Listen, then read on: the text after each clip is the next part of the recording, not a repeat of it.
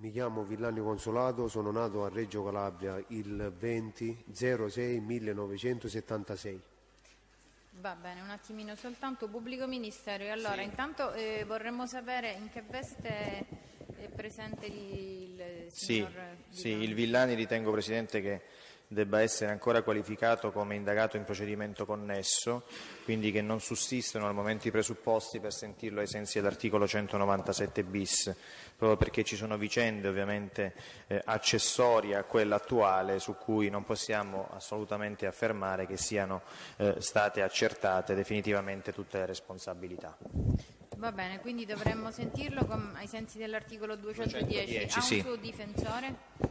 Sì, Chi è il difensore? eh, l'avvocatessa Biondi del Foro di? Roma. Sono qui presente, Presidente, Maria Assunta Biondi del Foro di Roma.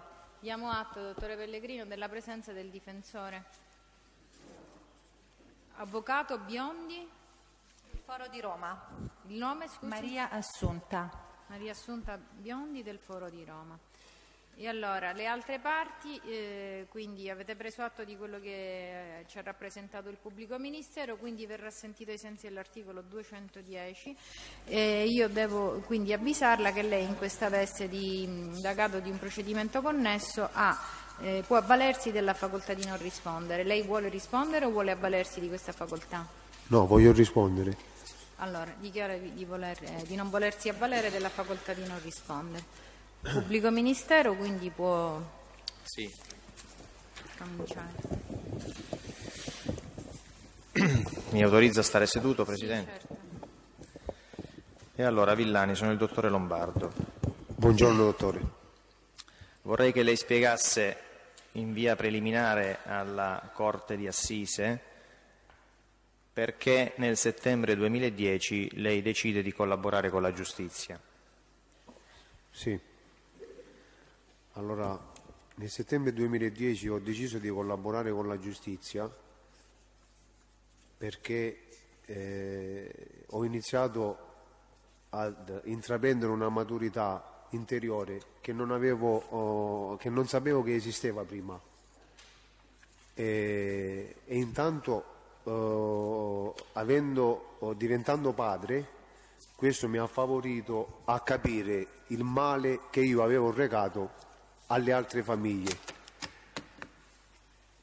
E mi rivolgo oggi, ho l'occasione che aspetto da, tanti- da tanto tempo, mi rivolgo ai familiari delle vittime che io ho cagionato, che io ho causato e a tutti quelli che sono stati eh, bersaglio delle, delle mie indegnitudini, non chiedo perdono, perché chiedere perdono non è possibile, perché non mi sono perdonato neanche io stesso. Quindi io chiedo a loro di avere, se potranno, mi inginocchio intanto di fronte a loro e chiedo pietà per quello che io gli ho recato. Dico questo perché eh, diventando padre, arrivato a casa mi vedevo le mie figlie che dicevano papà, papà, sei arrivato. In quel momento eh, eh, ho iniziato a domandarmi ma che pezzo di merda, scusate l'espressione, sono stato? E allora ho intrapreso, non è stato facile, perché io purtroppo sono nato e cresciuto in una famiglia di indrangheta. Non voglio addossare tutte le responsabilità alla mia famiglia, perché le altre respo- responsabilità le ho portate avanti io, con il mio carattere, il mio modo di fare sbagliato. E iniziando a maturare ho capito che non potevo andare più avanti, non potevo guardare le mie figlie in faccia perché avevano un assassino a casa che ha causato un dramma in diverse famiglie. Tutto questo, non voglio dire altre parole perché non riesco neanche a trovarle, Presidente. Per me è troppo emozionante trovarmi oggi qui. Va bene, signor Villani. Il pubblico ministero può andare avanti, credo che abbia Sì. un po' esposto tutte le ragioni. Villani, lei ha detto adesso di essere nato e cresciuto in una famiglia di indrangheta. Vorrei come mi creda eh, abbiamo già fatto in altre occasioni, che lei raccontasse e spiegasse meglio cosa intende per famiglia di Indrangheta e qual è stata la sua carriera in quel contesto criminale. Sì. Allora, io sono figlio di lo giudice Caterina, parlo, diciamo, prima cugina dei lo giudice, famiglia di Indrangheta di Santa Caterina, operante a Santa Caterina. E da, quando sono, da quando ero piccolo ho visto, oh, diciamo, sono, mi sono stati impartiti delle, delle, degli insegnamenti eh, usualmente eh, diciamo, di malavita, di indrangheta, eh, anche nel, nella normalità. anche come mi dovevo porre nella normalità, come dovevo agire, l'odio che doveva crescere in me quando qualcuno faceva un errore e tutto il resto che poi mi hanno portato a dove purtroppo sono arrivato. E praticamente eh, vengo da, dalla, dalla Coscalo Giudice che è stato operante per anni e ha dominato per anni nel rione di Santa Caterina di Reggio Calabria, Reggio Porto, San Brunello, Vito, dove io ho contribuito a eh, diciamo, mettere a, in pratica questa supremazia eh, criminale dei miei familiari. Eh, la mia carriera purtroppo è iniziata eh, in maniera, eh, in maniera veloce e in maniera terribile, perché ero un giovane della famiglia Lo Giudice che praticamente della Cosca Lo Giudice che aveva finito appena la guerra di Indrangheta. Nella guerra di Indrangheta è stato ucciso mio zio lo giudice Giuseppe e mio cugino Salvatore lo giudice. Quindi era stato nello scontro famoso e terribile che c'è stato nella città di Reggio Calabria dell'85 al 91 dove ci sono stati quasi 800, 700, 800 morti.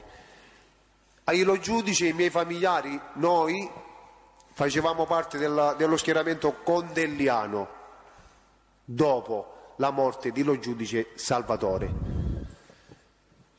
La mia uh, diciamo, carriera purtroppo criminale in pratica è effettivamente iniziata nell'anno 93 in poi. Prima Lei era minorenne? Sì, ero minorenne, prima avevo bruciato qualche macchina, queste erano diciamo prime eh, la prima scuola che si doveva fare per poi arrivare, giungere a commettere dei delitti gravi come l'omicidio, che era una sorta di, di, di, una sorta di traguardo eh, importantissimo per un ragazzo che aspira a diventare un andranghetista. Mi, si fermi un attimo, Villani. Lei da minorenne e quindi in epoca antecedente all'omicidio di cui sta parlando, era già formalmente affiliato alla Coscalo Giudice, quindi era un uomo di indrangheta a tutti gli effetti? No, formalmente non era affiliato, ma ero in una famiglia di indrangheta. Quindi, dottore, eh, cambia, cambia, ben poco. Cambia ben poco perché quelle sono delle, delle, diciamo, delle usanze eh, tradizionali eh, diciamo della criminalità, dell'andrangheta, che vengono portate avanti per una sorta di carta d'identità, diciamo, dell'ondranghetista. Quella intende diciamo, la formale affiliazione, sì, il battezzo. Sì, ma il nipote, un cugino di un lo giudice è un ondranghetista. Anche cioè nasce ndranghetista, sì. lei dice nasce ndranghetista. Sì, o nasce dranghetista o viene messo da parte, perché noi avevamo parenti che addirittura li schiacciavamo. Dovevano, dovevano, rimanere distanti da noi, non gli davamo confidenza, dicevamo che non valgono niente perché non, non erano capaci, non erano coraggiosi, non erano azionisti. Mm. Quindi, quindi lei era, invece lei era stato valutato già da minorenne come una persona capace di far parte di quel mondo? Sì, ero stato valutato purtroppo eh, poi perché eh, dai danneggiamenti si è passati alle cose più gravi e più serie. Le cose più gravi e più serie iniziano con la sparatoria avvenuta ai danni di Pietro Neri, un duplice tentato omicidio che avviene ad agosto, prima, ad agosto del, no- luglio-agosto del 93. Su incarico di chi? Su incarico mio e di Calabrò, perché praticamente... Che eh, vuol dire su incarico mio e di Calabrò? Qualcuno vi incarica o vi incaricate da soli? Eh, no, qualcuno ci informa, sempre dei miei familiari ci informa che il eh, Pietro Neri aveva fatto una, una confidenza, diciamo, era stato un infame. E aveva fatto una telefonata anonima che ci aveva fatto arrestare perché a me a giugno del 93 mi avevano arrestato per una tentata rapina. E allora praticamente c'era stata una telefonata anonima fatta presumibilmente da Pietro Neri che poi è stato portato in- in- alla polizia, la polizia ci ha accusati in pratica, ma noi non lo, non lo potevamo sapere, non l'abbiamo saputo perché il cognato di un mio zio era poliziotto all'epoca alla questura di Santa Caterina. E quindi voi reagite rispetto a questa situazione con il tentato omicidio, Sì, chiedendo l'autorizzazione a chi? no, niente, l'autorizzazione parliamo, io parlo con, eh, con Calabro e... Calabrò chi? Calabro Giuseppe. Sì. Perché parlo con Calabro Giuseppe? Perché io ero stato arrestato, come vi, vi stavo dicendo prima, nel 93 insieme al fratello, a Francesco Calabro e a Giacomo Stillitano Per quale motivo? per, la- per tentata rapina Sì. a, a danno di tre cittadini tedeschi. E da lì nasce il legame, l'amicizia con la famiglia Calabrò e con Giuseppe Calabrò. Bene, si fermi un attimo, poi ovviamente torneremo su questo che è il cuore anche del, del processo. Lei nel momento in cui inizia a collaborare con la giustizia ha un grado molto alto di indrangheta. Sì, Qual è? Evangelista. È evangelista, Sì. quindi aveva avuto il Vangelo. Sì, Ecco, vorrei che lei spiegasse alla Corte tutti i passaggi Sì. nella gerarchia mafiosa che lei ha vissuto negli anni di carriera. sì. Io uscendo dal carcere e poi sono stato arrestato per gli agguati ai carabinieri, sono uscito in scadenza termini ad aprile del 96, Quindi mi scusi un attimo, lei entra in carcere per gli attentati ai carabinieri che è sostanzialmente un soggetto di indrangheta ma che ancora formalmente non è stato affiliato. esattamente. E Quindi? all'uscita dal carcere alcuni miei familiari, alcuni miei parenti della famosa Cosca Lo Giudice operante a Santa Caterina Sì, eh, si trovavano in carcere. sì. E io, diciamo, ero oh, in collegamento, ero in contatto con Giovanni Chilà, il defunto Giovanni Chilà, che Chi è? Chi è stato- Giovanni Chilà? Sì, che eh, diciamo è stato un killer spietato nelle mani della Cosca Lo Giudice, con eh, ruolo anche in assenza dei familiari di comando, un ruolo apicale e un ruolo di azionista, di killer, se qualcuno dava fastidio. Quindi uno dei soggetti di vertice della Cosca al giudice. Sì, Controllava Giovanni Chilà, oltre che il territorio di Santa Caterina, anche altri territori, Sì. nel- nell'Interland Reggino. sì, controllava pure Patarriti, lui era il capo società per Quindi lui aveva un ruolo formale in un locale di indrangheta, Sì. che era Paterriti. Sì, Patarriti. sì.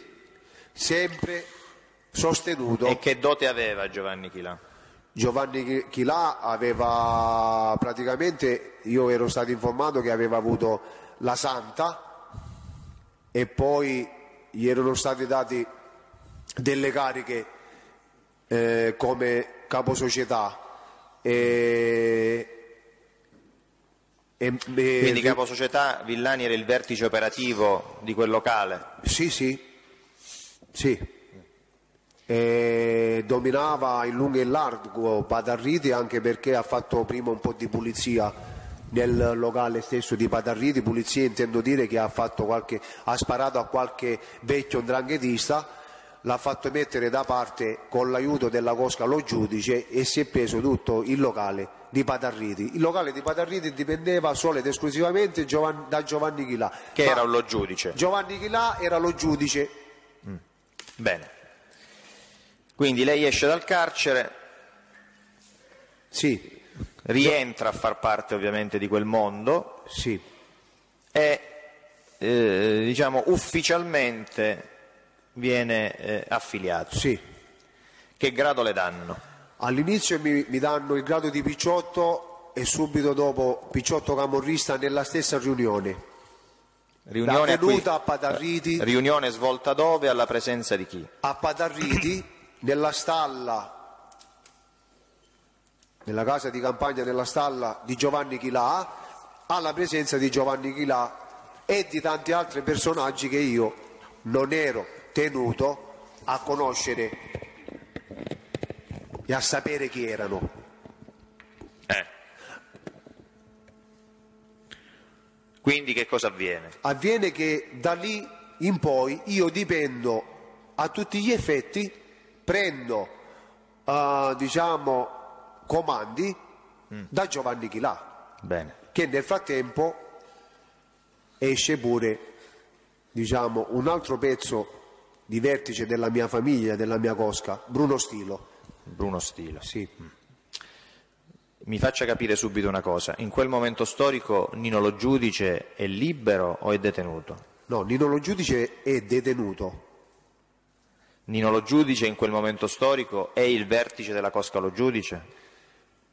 Eh, no, non è, è- Allora, diciamo che è, è il vertice della cosca Lo Giudice, però si trova in carcere. Fuori, Sì? fuori il vertice, cioè Nino Lo Giudice viene rappresentato quando esce, prima viene- vengono rappresentati lo giudice da Giovanni Chelà e da Consolato Arconte, Sì. ma poi quando esce Bruno Stilo è il referente, il rappresentante a tutti gli effetti di Nino Lo Giudice, che stiamo parlando di un personaggio di, di 'ndrangheta, Mi di- perdoni, perché Bruno Stilo aveva quel peso particolare? Bruno Stilo aveva avuto quel peso particolare intanto perché era il cognato di Nino Lo Giudice, fratello della moglie, Sì. intanto perché è di vecchia guardia della Cosca Lo Giudice, è stato da sempre dranghetista, aveva avuto il grado di santista e eh, poteva rappresentare a tutti gli effetti Nino Lo Giudice per merito e per anzianità pure. Quindi la, la struttura di comando della Cosca Lo Giudice quando lei viene scarcerato è quella che ci sta descrivendo. Sì. Sì. Lei che ruolo assume in quell'ambito? Io assumo il ruolo di azionista in quell'ambito, nel senso che un picciotto camorrista 96-97 assume il ruolo di prendere diciamo, i comandi che mi vengono impartiti da Giovanni Chilà e da, da Bruno Stilo tramite Giovanni Chilà. Azionista significa uomo d'azione. Sì, sempre a disposizione se si doveva fare qualsiasi azione ed io ne andavo, ne andavo fiero perché lo dranghetista deve purtroppo iniziare ad essere prima un azionista Sì. perché se non è, non è dranghetista non ha niente, non viene riconosciuto, non ha meriti e deve vivere diciamo sotto l'ala di qualche altro familiare, ma tra dranghetisti stessi si sa chi vale e chi non vale. Ovviamente la Cosca Lo Giudice non era formata solo da queste quattro persone che lei ci sta indicando. Assolutamente no. La Cosca Lo Giudice in quel momento storico, siamo qualche anno dopo la fine della seconda guerra di mafia, Sì. come si colloca nel panorama reggino Nel panorama e reggino soprattutto, e soprattutto, eh, qual è il peso che la Cosca Lo Giudice ha in quel panorama? Sì, allora eh, intanto eh, c'è da dire che la Cosca Lo Giudice è stata una delle cosche che non voleva fare la pace. Non Quando- voleva fare la pace. No, non voleva fare la pace. Mm? Quando c'è stata la riunione per pacificare e finire con la guerra, non voleva fare la pace perché chi aveva ucciso mio cugino e chi aveva ucciso eh, mio zio non, Salvatore, non stati... Salvatore e suo cugino eh, eh, lo so che lei queste cose diciamo, le dà anche per scontate, le ha dette tante volte, però quando fa riferimento a dei soggetti, nome, cognome e tutti diciamo, i riferimenti che ci consentano di, di non equivocare. Sì, allora erano, erano, diciamo, erano vivi gli artefici che avevano fatto uccidere Salvatore lo giudice e poi mio zio Giuseppe lo giudice. Sì. Ecco, ci, e ci dica a questo punto chi erano gli artefici. Gli artefici, partendo dal locale di Santa Caterina, erano i Franco Murina Moschera. E chi, chi erano i Franco Murina Moschera? Franco Murina Moschera erano, diciamo, una filiale dei Tegano de Stefano a Santa Caterina. E Già, Murina- già in quegli anni. Ah? Già in quegli anni. Assolutamente sì, Murina era riconosciuto a tutti gli effetti, Carmelo Murina, riconosciuto a tutti gli effetti come un killer affidabile e pericoloso della cosca Tegano De Stefano. Bene. Mi faccia capire un'altra cosa.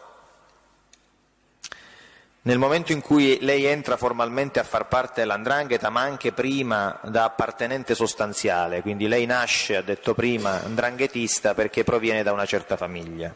Sì, Le raccontano la genesi della Coscalo Giudice, come nasce quell'articolazione di indrangheta, sotto l'ala di chi, sì, per volere di quale capomafia. sì, ma la cosca lo giudice eh, diciamo che nasce da Vincenzo lo giudice e da Giuseppe lo giudice Che come sono? cosca riconosciuta di indrangheta Che sono? che sono Rispetto a Nino Lo Giudice chi sono? Ah? Rispetto a Nino Lo Giudice chi sono? il padre e lo zio Il padre e lo zio. E lo in, zio. Quali, in quali anni siamo? Villani? ma eh, siamo negli anni pressoppone negli anni 70 Il vertice criminale di Reggio Calabria negli anni in cui la Coscalo Giudice viene riconosciuta formalmente, come dice lei, nasce, utilizziamo questo termine per farci capire, il vertice criminale della città di Reggio Calabria chi è all'epoca? all'epoca erano avevano vinto anche la guerra contro Mico Tripodo erano i De Stefano Paolo Quindi- De Stefano i fratelli De Stefano la cosca De Stefano Quindi possiamo eh, eh, diciamo, riassumere quello che lei sta dicendo affermando che i Lo Giudice nascono formalmente famiglia di Indrangheta per volere di Paolo De Stefano. sì Sì. Questo lei da chi lo apprende? questo lo apprendo dai miei familiari stessi lo apprendo da Nino Lo Giudice da Giovanni Chilà lo apprendo dai miei familiari stessi Bene. Negli anni i rapporti tra lo giudice e De Stefano quali sono stati? Perché lei poco fa ci ha invece detto che sostanzialmente Salvatore e Giuseppe poi muoiono per mano di soggetti collegati a De Stefano. sì Ci spieghi bene questo passaggio? Sì, perché la Cosca lo giudice praticamente prende un potere non indifferente nella zona di Santa Caterina, di San Brunello e di Reggio Porto, Sì. anche perché Quindi una parte centrale della città. della città con eh, il capo riconosciuto lo giudice Giuseppe, era capo indiscusso della- del locale di Santa Caterina, anche se bisognava dare conto ad Archi, non c'è dubbio, è stato sempre così, però lui aveva un ruolo verticistico e un ruolo di tutto rispetto riconosciuto da tutti quanti a Santa Caterina. Quando lei dice bisognava dare conto ad Archi, che cosa intende? Sì, bisognava dare conto ad Archi perché il locale di Santa Caterina, come ho detto già prima, è un locale che è gestito da uomini dranghetisti che sono affiliati al, ai- al locale di Archi perché dobbiamo- Che, che quindi è un locale più importante. il locale di Archi è il locale più importante che c'è a Reggio Calabria. Possiamo dire che è il locale capofila, possiamo Sì. definirlo così? Sì, Sì. E da chi era guidato il locale di Archi? Il locale di Archi era guidato dai De Stefano Tegano, dai Condello, i Merti. In che epoca siamo quando lei fa questa affermazione?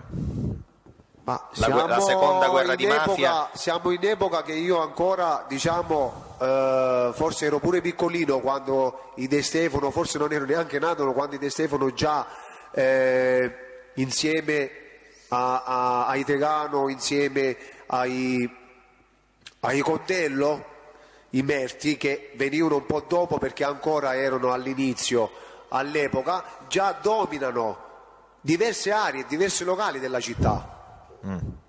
Quindi siamo in un'epoca antecedente alla seconda guerra di mafia, Sì. quindi all'85. Sì, Sostanzialmente Paolo De Stefano è ancora vivo. sì, Senta, e in quegli anni, se ovviamente le è stato raccontato perché lei era molto giovane, sì. quali erano i rapporti tra Giuseppe e Vincenzo Lo Giudice e i vertici del locale di Archi? Allora, in quegli anni eh, si rispettavano tanto. Si, Lo Giudice con i Tegano De Stefano si rispettavano parecchio, tantissimo. Solo che c'è stato poi Cosa è ci sono stati dei poi? problemi Ecco, perché all'inizio sono state fatte anche delle azioni criminali insieme tra i Lo Giudice De Stefano e Tegano contro altri. Contro chi? Eh, diciamo contro chi eh, doveva subire la, no, precisamente contro chi non, non lo so dire, ma contro chi doveva subire diciamo, la- l'avvertimento, la punizione. E- ma poi succede che i Tegano De Stefano scoprono che i lo giudici, i miei parenti, stavano facendo una sorta di doppio gioco. Perché i lo giudici non è che sparavano se c'era bisogno solo per i De Stefano Tegano, ma sparavano anche per conto loro. E infatti in un, in un omicidio commesso da Giovanni Chilà e Salvatore Lo Giudice, parlo di- del padre di Pino Liuzzo sulla statale 106 Pino Liuzzo, chi Rosmini? sì, il padre venne ucciso da Giovanni Chilà e da Salvatore Lo Giudice, mio cugino, dentro il suo ufficio, proprio nel cantiere edile. Sì. All'uscita i Lo Giudice vengono scoperti Da chi? da Vincenzo Figara. Stiamo parlando di Vincenzo Figara che poi diventa il vertice della Cosca Latella, affiliata sempre collegata da rapporti stre- strettissimi con i De Stefano Tegano di Archi. Quindi lei sta dicendo che quell'episodio fa emergere diciamo, un ruolo dei lo giudice non totalmente allineato, non totalmente controllabile da parte di Archi. Sì, anche perché c'era un altro discorso, dottore, che il Liuzzo era protetto da Amico Libri,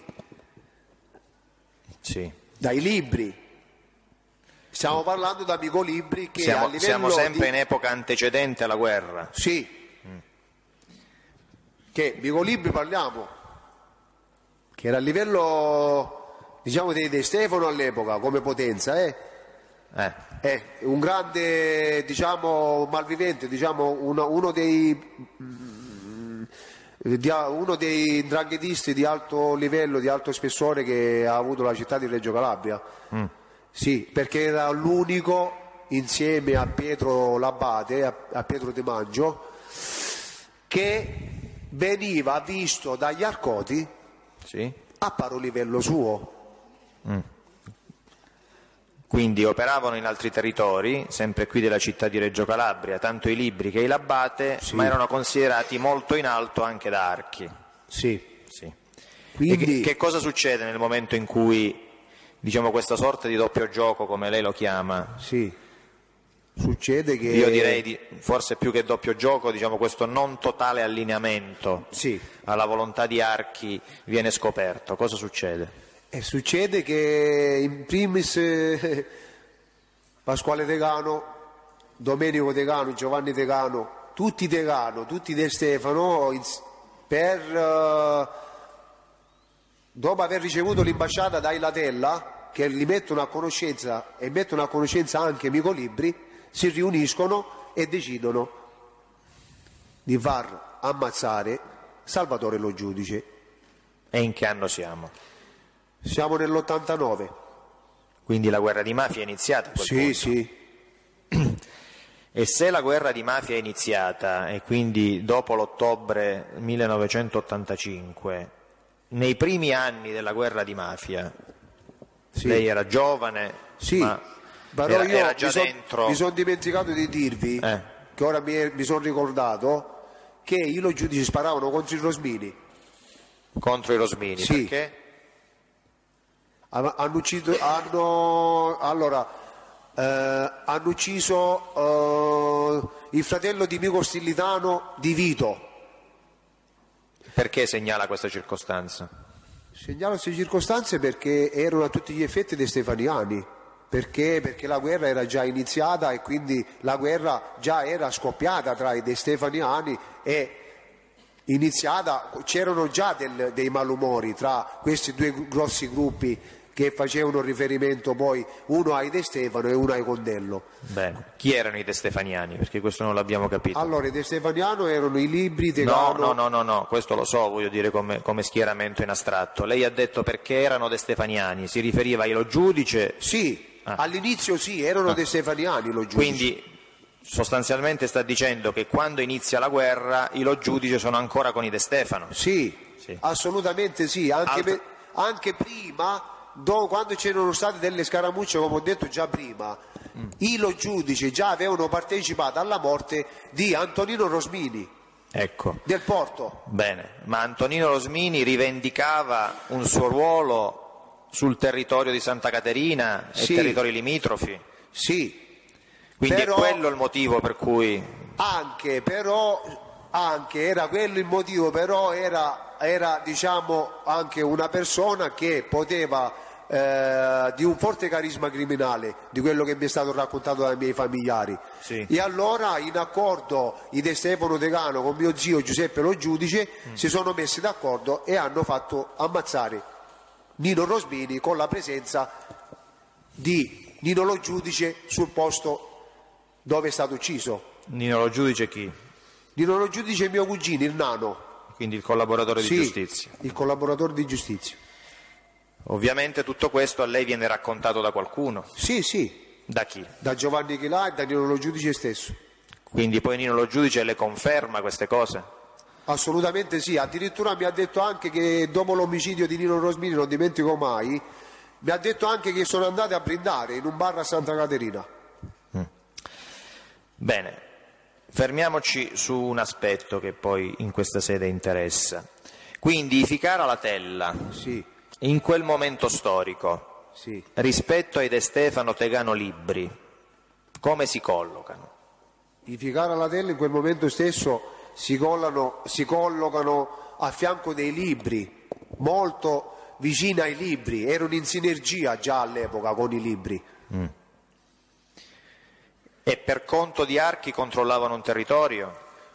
Sì, controllavano il territorio sud della città, diciamo il territorio di Ravagnese, Saracinello, Croce Valanidi, come controllavano e poi purtroppo fino al 2010, penso che non lo so ora, fino al 2010 lo, lo continuavano a controllare loro. Quindi erano una famiglia importante, dice lei, che dipendeva sempre da archi. E non del tutto completamente dipendeva, c'era stata una, un sort- una sorta di triumvirato, Latella, De Stefano, Tegano, triumvirato, erano in quattro, anche i libri, anche perché si scambiavano i killer per andare a fare delle azioni di fuoco. Per esempio Giovanni Puntorieri, un killer pericolosissimo della Cosca Lo Giudi e della Cosca, scusate, Latella, Sì. insieme a Paviglianiti, a Domenico Paviglianiti, a Gino Molinetti, hanno commesso u- u- diversi, numerosi omicidi, Anche fuori Reggio. anche fuori Reggio, sì. Sta parlando dei soggetti che poi vengono, vengono spostati su Milano per molti Sì, anni. sì, sì. Vanno in trasferta a fare degli omicidi anche al nord. Per conto sempre dell'andrangheta e contro sempre ndranghetisti pure. Bene. Tutto questo le viene raccontato nel momento in cui lei entra formalmente a far parte dello giudice? No, questo mi viene raccontato, tutto questo mi viene spiegato e raccontato da quando io ho, mi viene riconosciuto il grado di santista. E quando lei diventa Nel santista? 2001 e 2002, Mi perdoni, però da picciotto camorrista a santista c'è un grado intermedio. sì, però mi è stato dato per merito. Cioè? Spie- alla fatto- Corte i, i vari passaggi. Mi è stato dato per merito perché avevo fatto già, avevo commesso degli omicidi. Cioè lei sostanzialmente salta il grado di sgarrista Sì, e questo si poteva fare? sì, E a che condizioni si poteva fare? si poteva fare a condizione che c'erano dei meriti particolari. E quali meriti aveva lei? Io avevo il merito purtroppo che ero- avevo partecipato agli omicidi e agli attentati che c'erano stati contro l'arma dei carabinieri e che erano quelli, le- le- diciamo, i reati che avevo commesso più eclatanti e poi c'erano tutti il resto di reati. Quindi a me mi Su cui, riconoscete. ci, su cui ci soffermeremo a lungo, eh, Sì. Villani. Mi- Mi servono tutta una serie diciamo, di elementi preliminari. Sì. Penso che lei questo l'abbia capito. Sì, Quindi, diventato picciotto camorrista, lei prosegue ovviamente la carriera all'interno di quel contesto criminale e arriva al momento in cui lei deve diventare sgarrista, giusto? sì. E allora ci ricordi le date? No, no, aspetti, aspetti, aspetti, aspetti, aspetti, aspetti, Villani, ci ricordi le date? Lei Io diventa nel- picciotto camorrista quando? Nel 96-97. A seguito di quella eh, cerimonia che ci ha raccontato prima. Sì. Normalmente si diveniva sgarristi dopo quanto rispetto a questo? Ma poteva, secondo diciamo, la carriera che si, che- che- che- si percorreva, poteva, eh, poteva essere fatto pure sgarrista eh, dopo, dopo un annetto, dopo un po' di mesi. Sì. Quando la chiamano per avanzarla di grado? A me mi, mi- è stato mh, data l'imbasciata da Giovanni Chilà nel 2001-2002. Per diventare santista? Sì. Lei in quell'occasione ha detto a chi la chiamava, a chi la informava che era stato diciamo, programmato il suo avanzamento? Sì, Giovanni Chilà mi spiegò qualcosa, praticamente Giov- loro avevano fatto la richiesta, Giovanni Sì. Chilà aveva fatto la richiesta come famiglia lo giudice, come cosca lo giudice, A chi aveva fatto la richiesta? aveva fatto ri- richiesta alla commissione diciamo, dell'Andrangheta, ai mandamenti dell'Andrangheta, perché poi l'Andrangheta dopo che c'è stata la pace Sì? si è diciamo, formata con uno schieramento ben diverso dell'Andrangheta tradizionale che c'era prima. Mm. C'era poi, si è stato formato il mandamento ionico, il mandamento tirrenico e il mandamento di centro, Reggio. Bene. Quindi per arrivare diciamo, all'avanzamento di grado che la riguarda, chi là le dice che si erano mossi i vertici mandamentali. Sì, Sì. so- su richiesta di, de- di Giovanni Chilade, lo Benissimo, giudice. quindi su richiesta dello giudice. Sostanzialmente lo giudice dicono guarda dobbiamo avanzare uno dei nostri, Sì, autorizzateci a farlo. sì. È così più o meno? Sì. Chi sono i vertici mandamentali dell'epoca?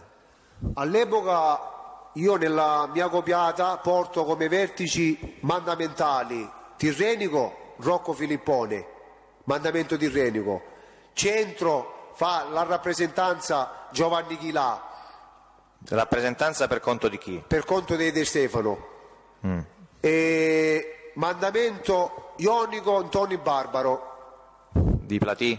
di Platì.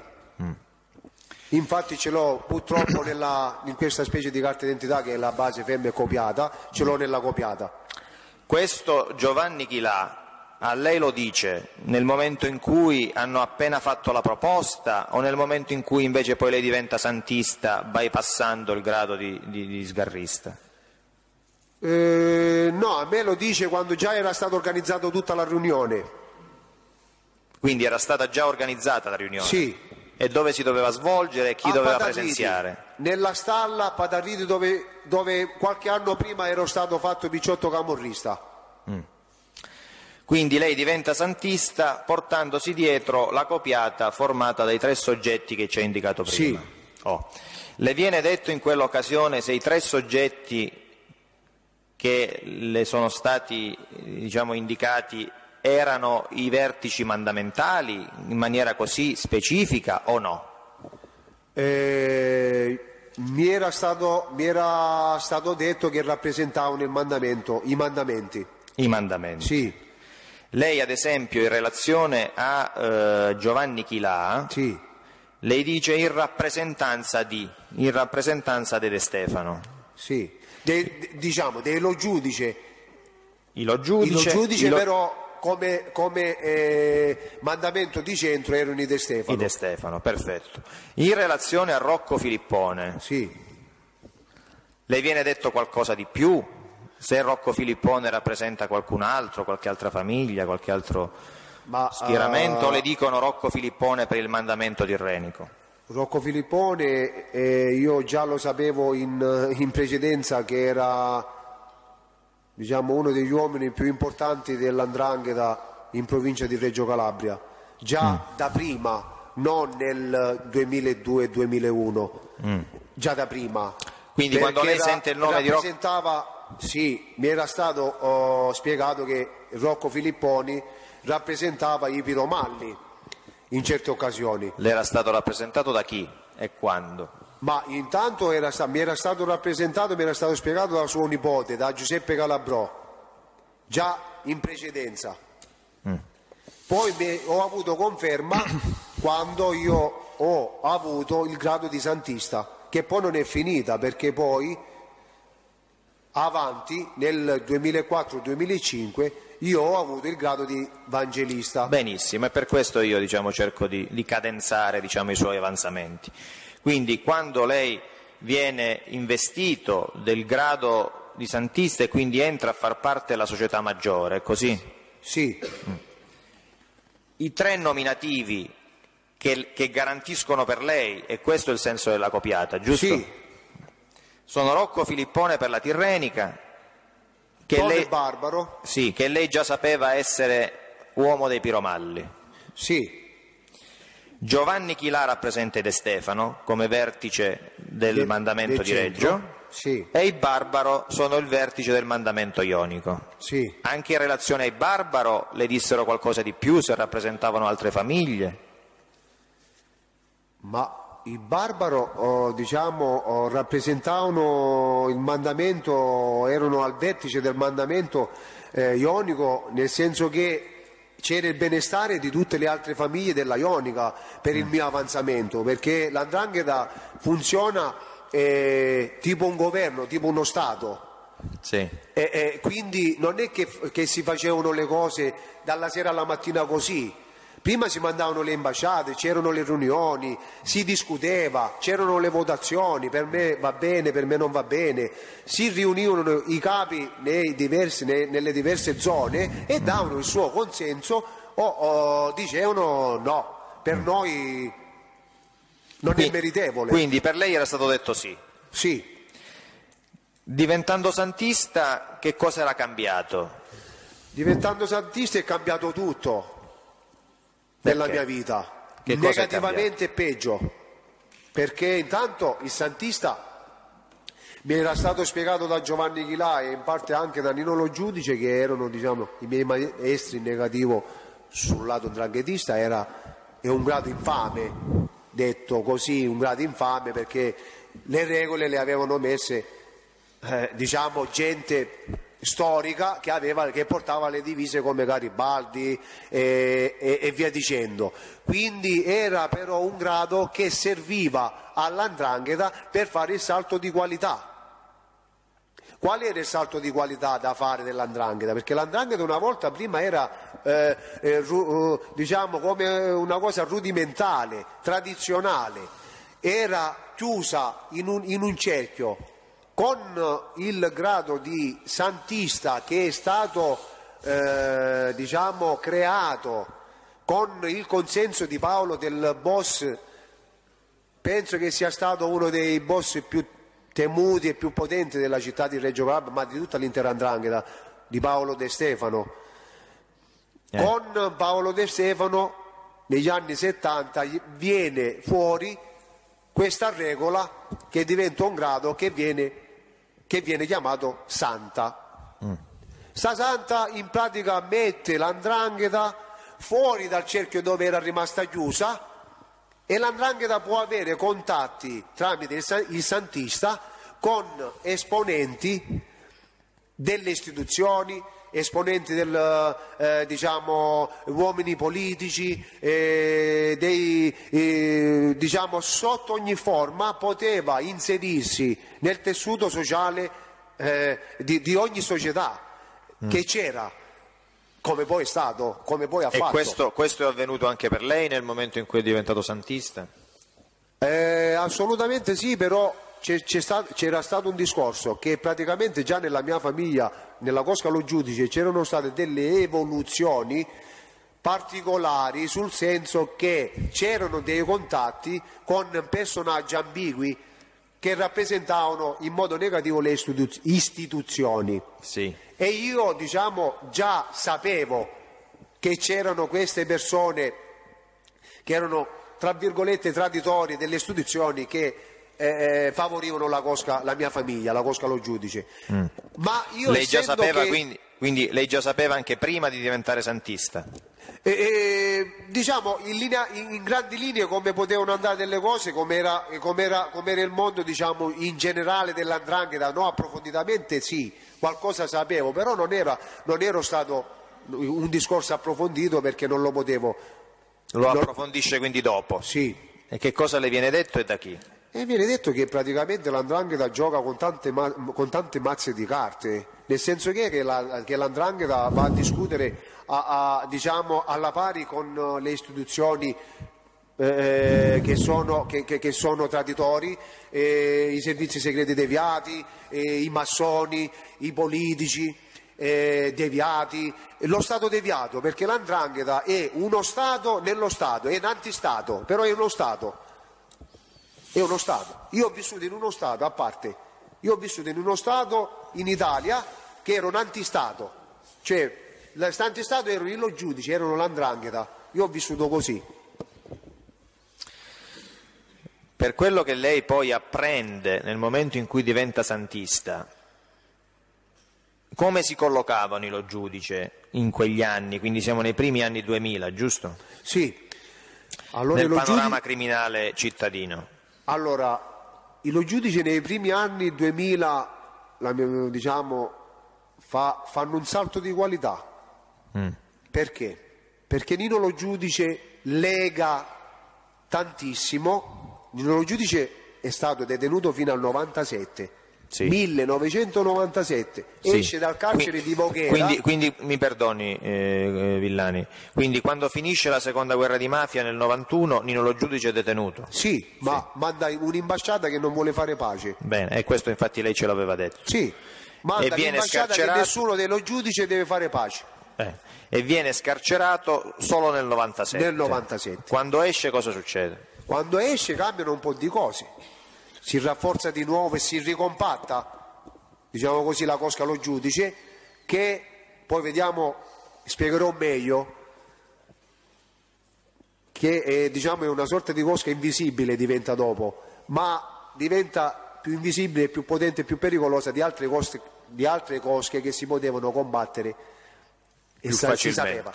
Lo spiegherò dopo. Sì. Eh, praticamente stavo dicendo che Nino Lo Giudice esce nel 97 e si ricompatta, piano piano la Cosca Lo Giudice si ricompatta, anche se nel 99 abbiamo un problema di collaborazione all'interno della, della Cosca nostra Lo Giudice con il fratello di Nino Lo Giudice, Maurizio Lo Giudice, che però viene gestito in una certa maniera e non fa, e non fa danni più di quanto ne aveva potuto Ma fare. viene gestito in una certa maniera da chi, mi perdoni? Ma viene gestito da una certa maniera da, dai Lo Giudice, in particolare da Luciano Lo Giudice e anche dopo da Nino Lo Giudice e di quello che io ho visto e di quello che io ho capito da qualche eh, personaggio delle istituzioni compiacenti per tappare la bocca a Maurizio Lo Giudice nelle dichiarazioni che Maurizio Lo Giudice fa. Quindi lei dice Maurizio Lo Giudice gestito in quel modo non diventa un problema. Assolutamente no, e infatti si è visto, eravamo tutti Eh, liberi. E, e allora se lo sa, perché decise di collaborare con la giustizia? Io? Se lo sa, perché Maurizio Lo Giudice allora decise di collaborare comunque con la giustizia? Ma Maurizio Lo Giudice decise, decise di collaborare con la giustizia perché la famiglia l'aveva ripudiato in parte. Quindi Perché per- faceva delle per- scemenze, faceva delle cose che non, non erano compatibili e non rientravano nel- nelle regole di indrangheta vere e proprie. Quindi ehm, l'avevo un po' messo da parte. quindi per problemi interni alla famiglia. Sì, sì, sì. Lei ha fatto riferimento anche un attimo fa a Luciano Lo Giudice. Sì. Già in quegli anni. Sì. Lei ha detto 99. Sì. Chi è Luciano Lo Giudice in quegli In anni? eh, due parole, Luciano Lo Giudice non è stato mai un azionista, però è stato sem- sempre un grande imprenditore, una macchina per fare soldi ed era la cassa della Cosca Lo Giudice, vera e propria. Quindi- Aveva disponibilità di denaro fatte con, soprattutto con l'usura e con eh, l'intestazione facendo a terzi fare l'intestazione dei beni fittizi riciclando il denaro che si era fatti in precedenza con le estorsioni e con la droga e con l'usura, sti- questo denaro la Cosca lo giudice, la mia famiglia lo ricicla e lo investe in attività visibilmente pulitissime. Quindi era l'ala economica della Cosca Lo Sì. Giudice. Stiamo parlando del fratello di Nino. Sì, sì. Il fratello di Nino, diciamo, è il pupillo di Nino. Sì. Bene. Lei ci stava spiegando prima che quindi diventato santista viene in possesso di tutta una serie di informazioni Sì. che prima non aveva, Sì. che le consentono anche di capire come si collocano i lo giudice Sì. nel panorama criminale reggino. In quel momento storico i lo giudice sono eh, in, in qualche modo eh, eh, sottoposti al controllo di altre famiglie? Allora, in quel periodo il giudice praticamente eh, eh, fino a che uscisse Nino Lo Giudice, Bruno Stilo con Domenico Lo Giudice, il cugino, figlio di Vincenzo, con Fortunato Pennestri, diciamo, avevano gestito la situazione, si erano messi d'accordo per, affinché si dividessero eh, diciamo, eh, le varie attività eh, sia di estorsione, le varie attività di imprenditoria della Cosca Lo Giudice nel quartiere di Santa Caterina, San Brunello, Porto e del- di Vito, insieme, se li erano divisi insieme ai soggetti che io ho indicato prima come appartenenti e affiliati dei Tegano De Stefano, in una riunione avvenuta a Vito. Quindi lo giudice, fino a che esce Nino Lo Giudice, ufficialmente gestiscono insieme ai Tegano De Stefano gestiscono il locale di Santa Caterina. Ma non, è- non erano, lei ci ha spiegato prima che non erano diciamo, d'accordo con la pace del 91. No, Quindi quando invece la pace si fa Sì. in quell'anno, i lo giudice come vengono collocati? i lo giudici vengono- vengono collocati sotto il condello.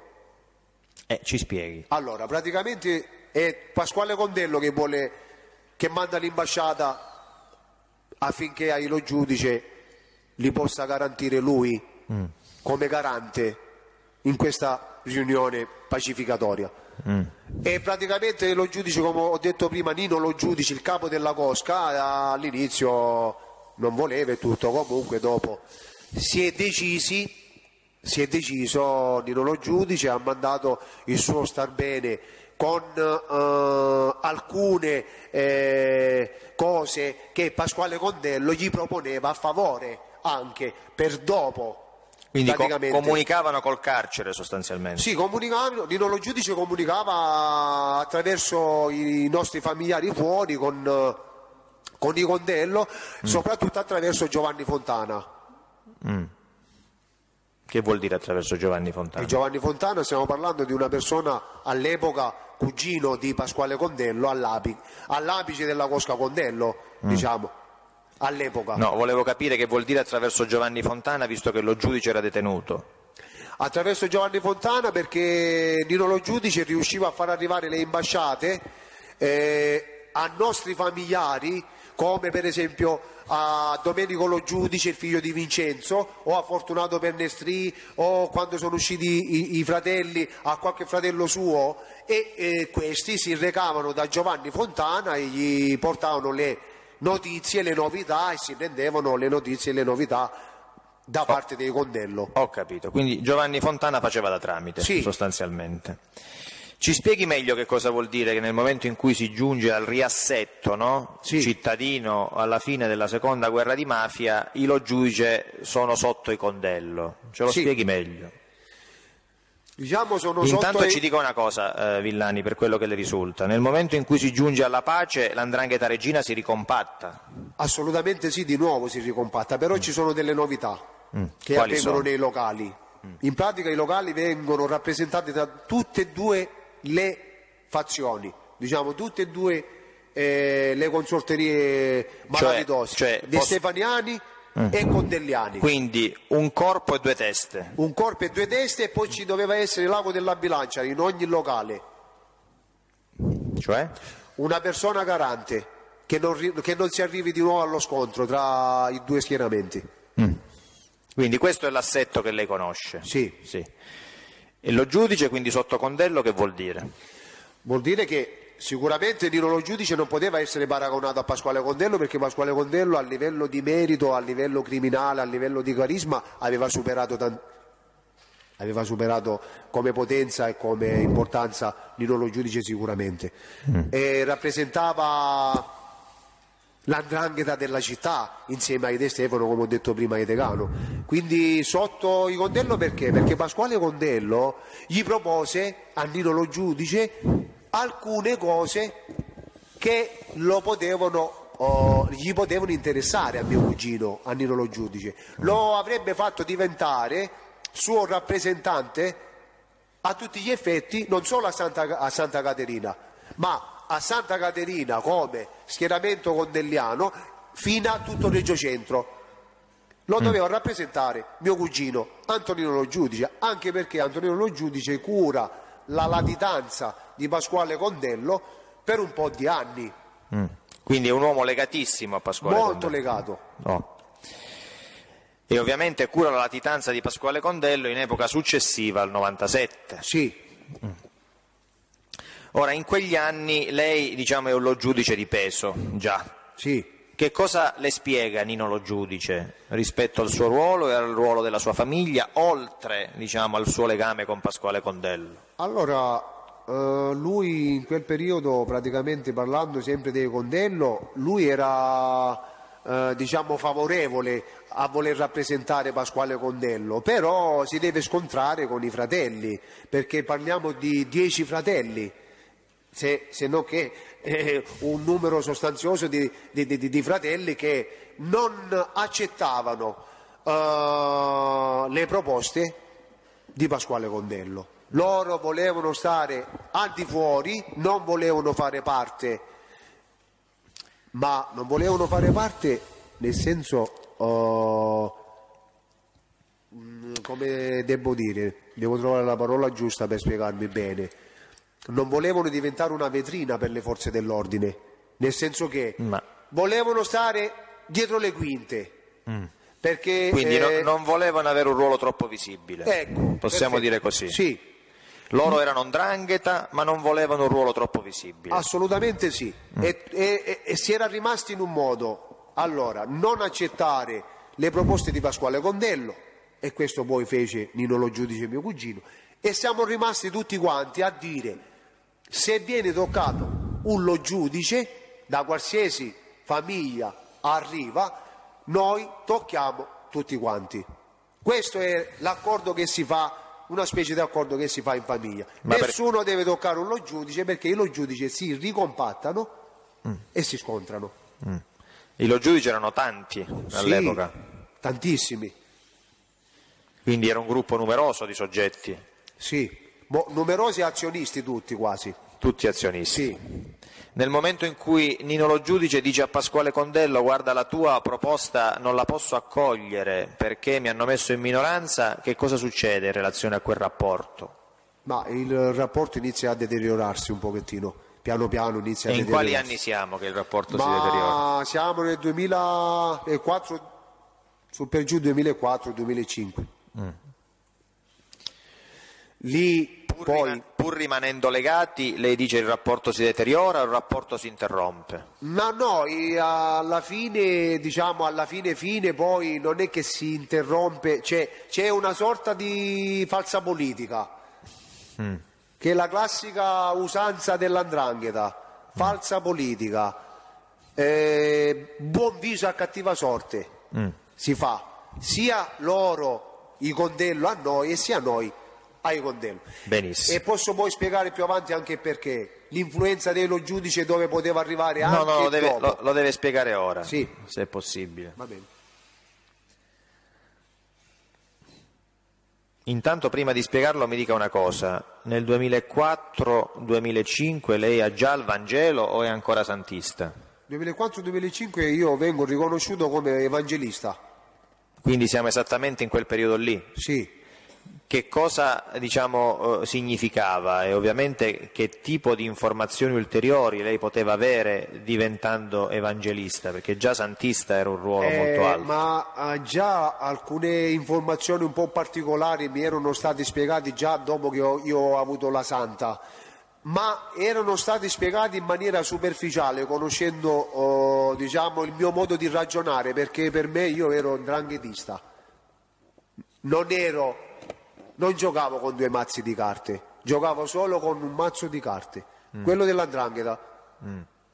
La su- invece la sua Nino carri- Lo Giudice e Luciano Lo Giudice mi volevano far capire Sì. che bisognava giocare come ah, e poi spiegherò giocavano loro con due Eh, mazzi di carte. e ce lo spieghi. Quindi lei a un certo punto diventa evangelista, la sua carriera, Sì. questo lo possiamo affermare comparandola diciamo, ai tempi di altri soggetti di Indrangheta, è una carriera velocissima. Sì, Perché è velocissima?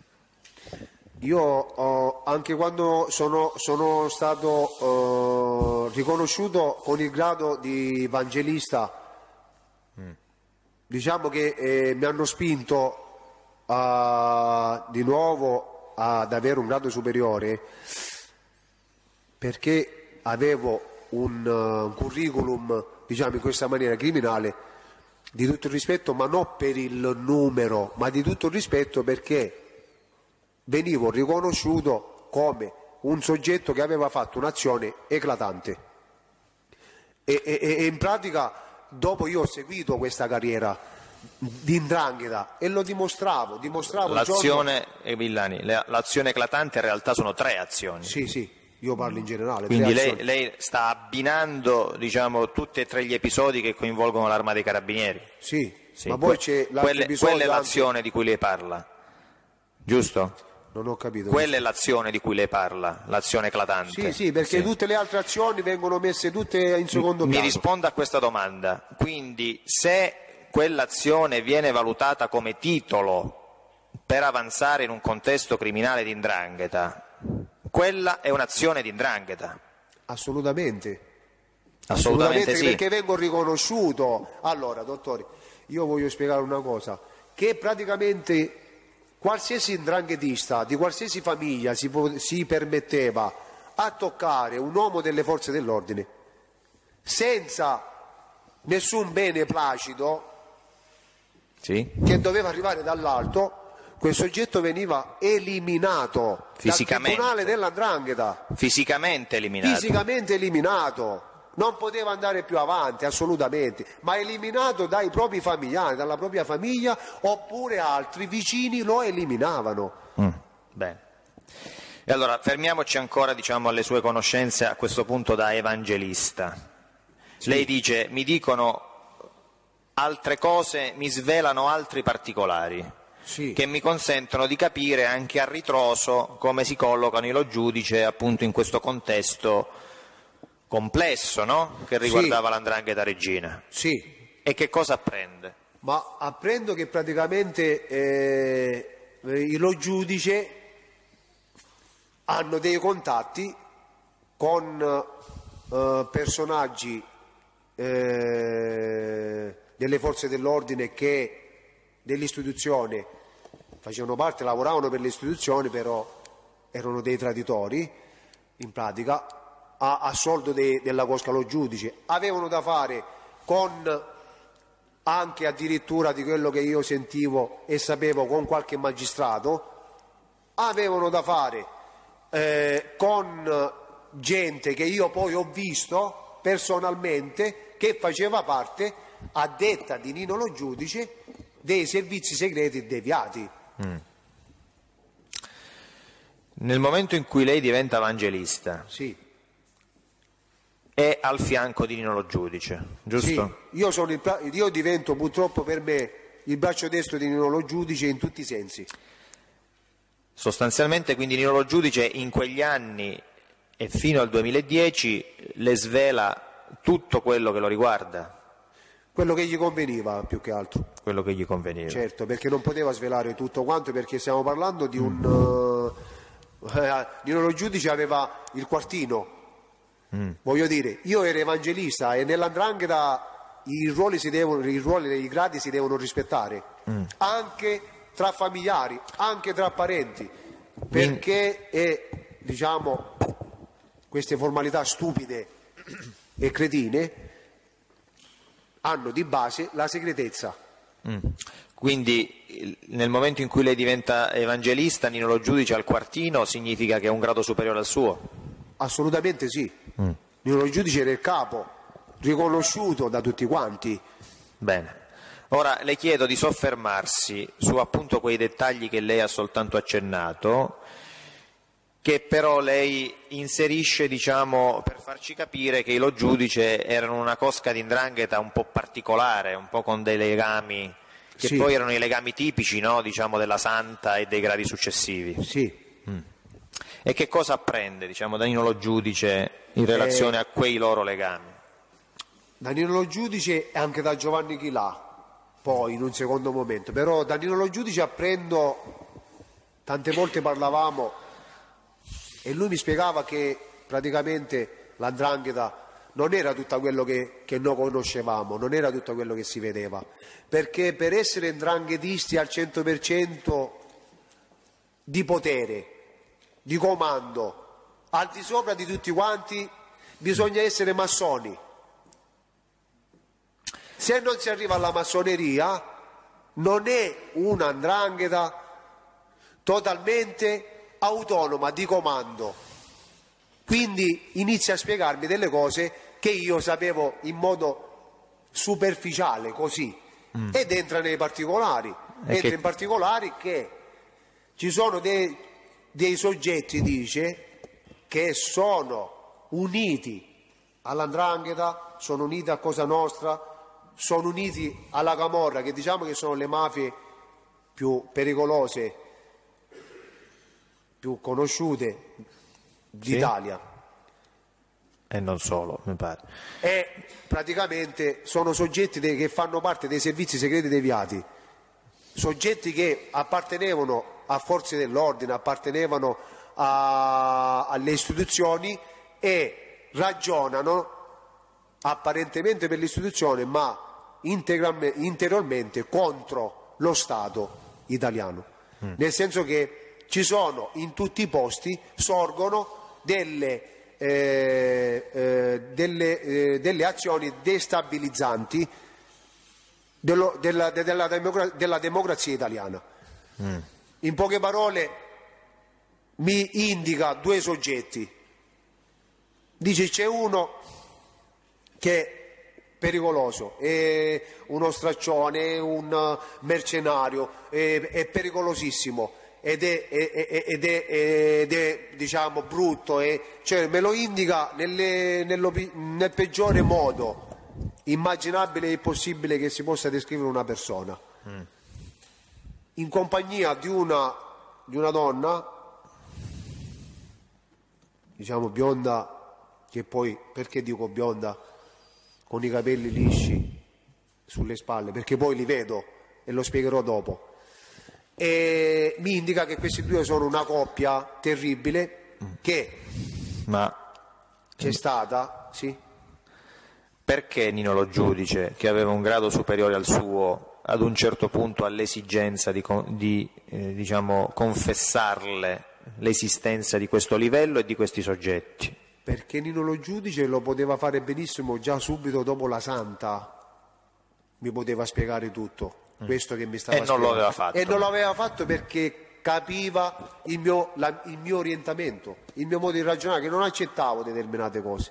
Però inizia a farlo perché dici tu devi sapere come va la situazione, oggi domani capita qualche incontro, oggi domani capita un qualcosa, inizio a prepararmi eventualmente a una cosa del genere. E io giustamente ascolto. Certamente a volte mi sembravano cose che dico, però ascoltavo, incameravo, memorizzavo e cercavo di Quindi capire. questi racconti iniziano dal 2004-2005 in poi, Sì, da quando lei diventa evangelista. Sì, sì. Prima mi aveva riferito qualche cosa, però Mi, mi faccia capire un'altra cosa, ma c'era stato qualche episodio particolare? Sì. C'era- C'erano state ad esempio anche delle vicende processuali che Sì. in quegli anni si celebravano che spinsero lo giudice a dirle questa cosa? E vicende processuali c'erano. Allora, praticamente lei parla perché c'è stato pure il discorso del mio processo. Ecco, Sì. Praticamente quando, allora, quando lui mi raccontava determinate cose, si parlava di determinate cose, io cercavo di spiegargli quello che un po' purtroppo era accaduto. Cercavo di andare a finire sempre sul- su questi attentati fatti nei confronti dei carabinieri. bene. Però Nino Lo Giudice ogni qualvolta... Quindi in quegli anni lei diventa evangelista e il processo che la riguarda per gli attentati ai carabinieri da lei commessi, diciamo episodi da lei consumati quando era ancora minorenne, Sì. non si era ancora concluso. Assolutamente no. No. Però lui cercava di aggiustarlo il processo E come voleva aggiustarlo? tramite l'avvocato Gatto, Tramite, tramite il giudice Neri. Cerchiamo di capire. Sì. Quindi in quegli anni il suo processo, che poi si concluderà, se non ricordo male, con la sentenza definitiva nel 2010, è vero? Sì, Lei inizia a collaborare con la giustizia che ancora la Cassazione non si è pronunciata. No. È in corso di celebrazione. sì,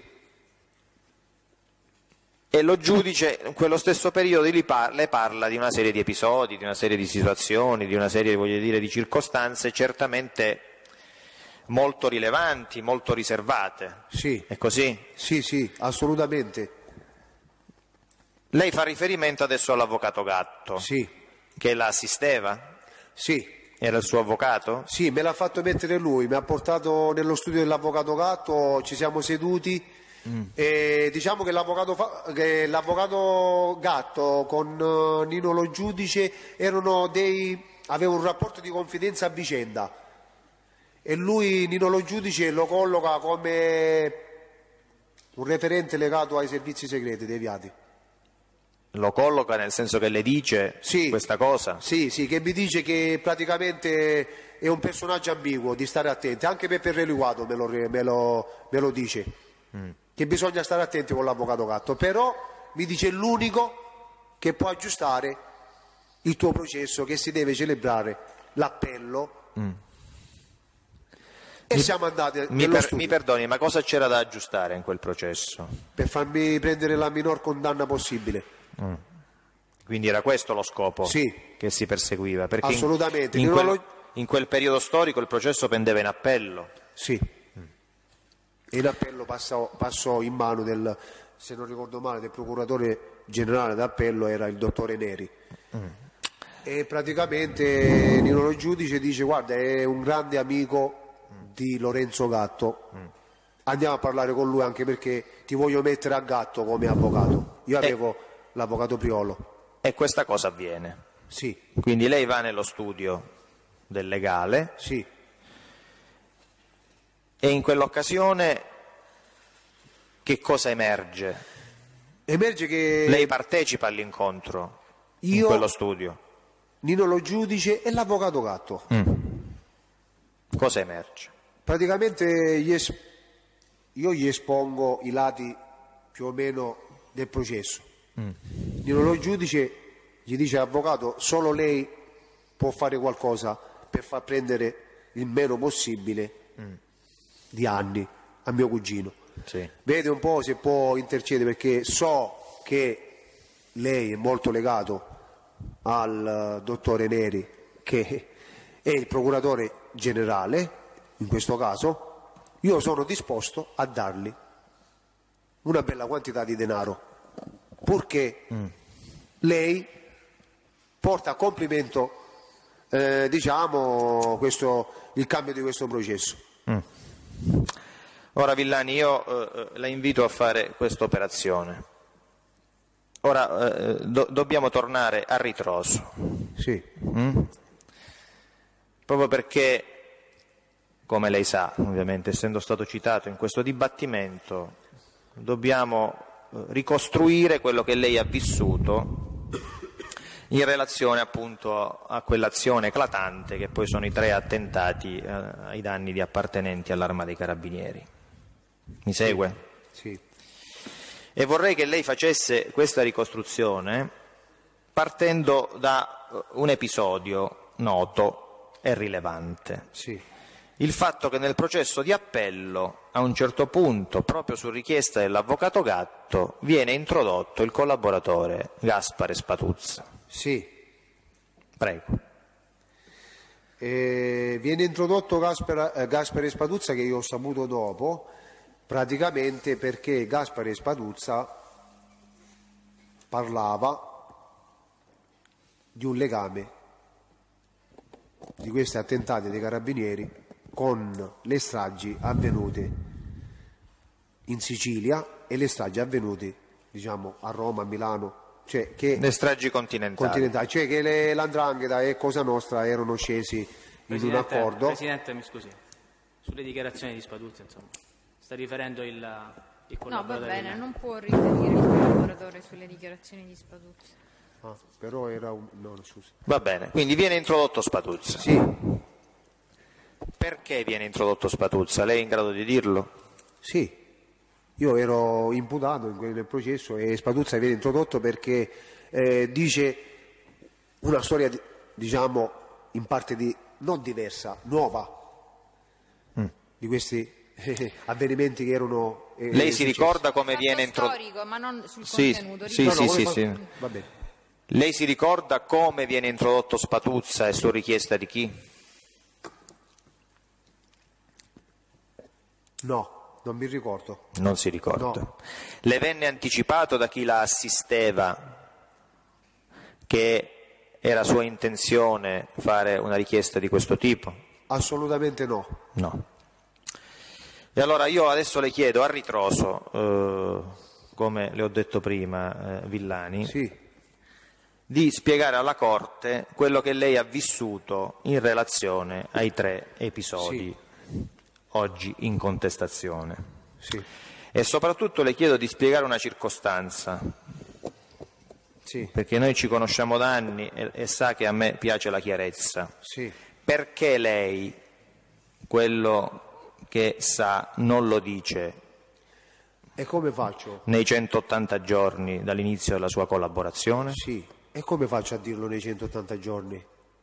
Io ero, allora, a me era stato negato totalmente di parlare degli attentati ai carabinieri da parte di mio cugino.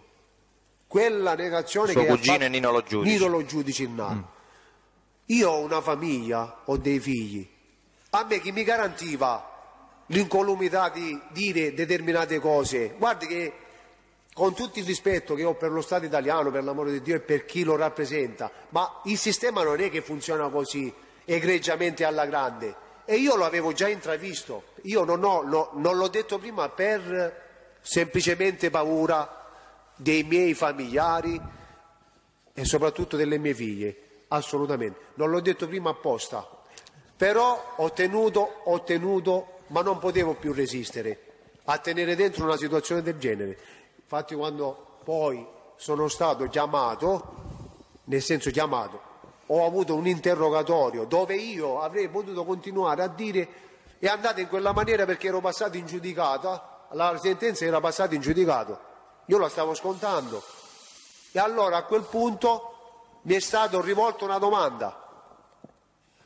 Quale Ma- domanda?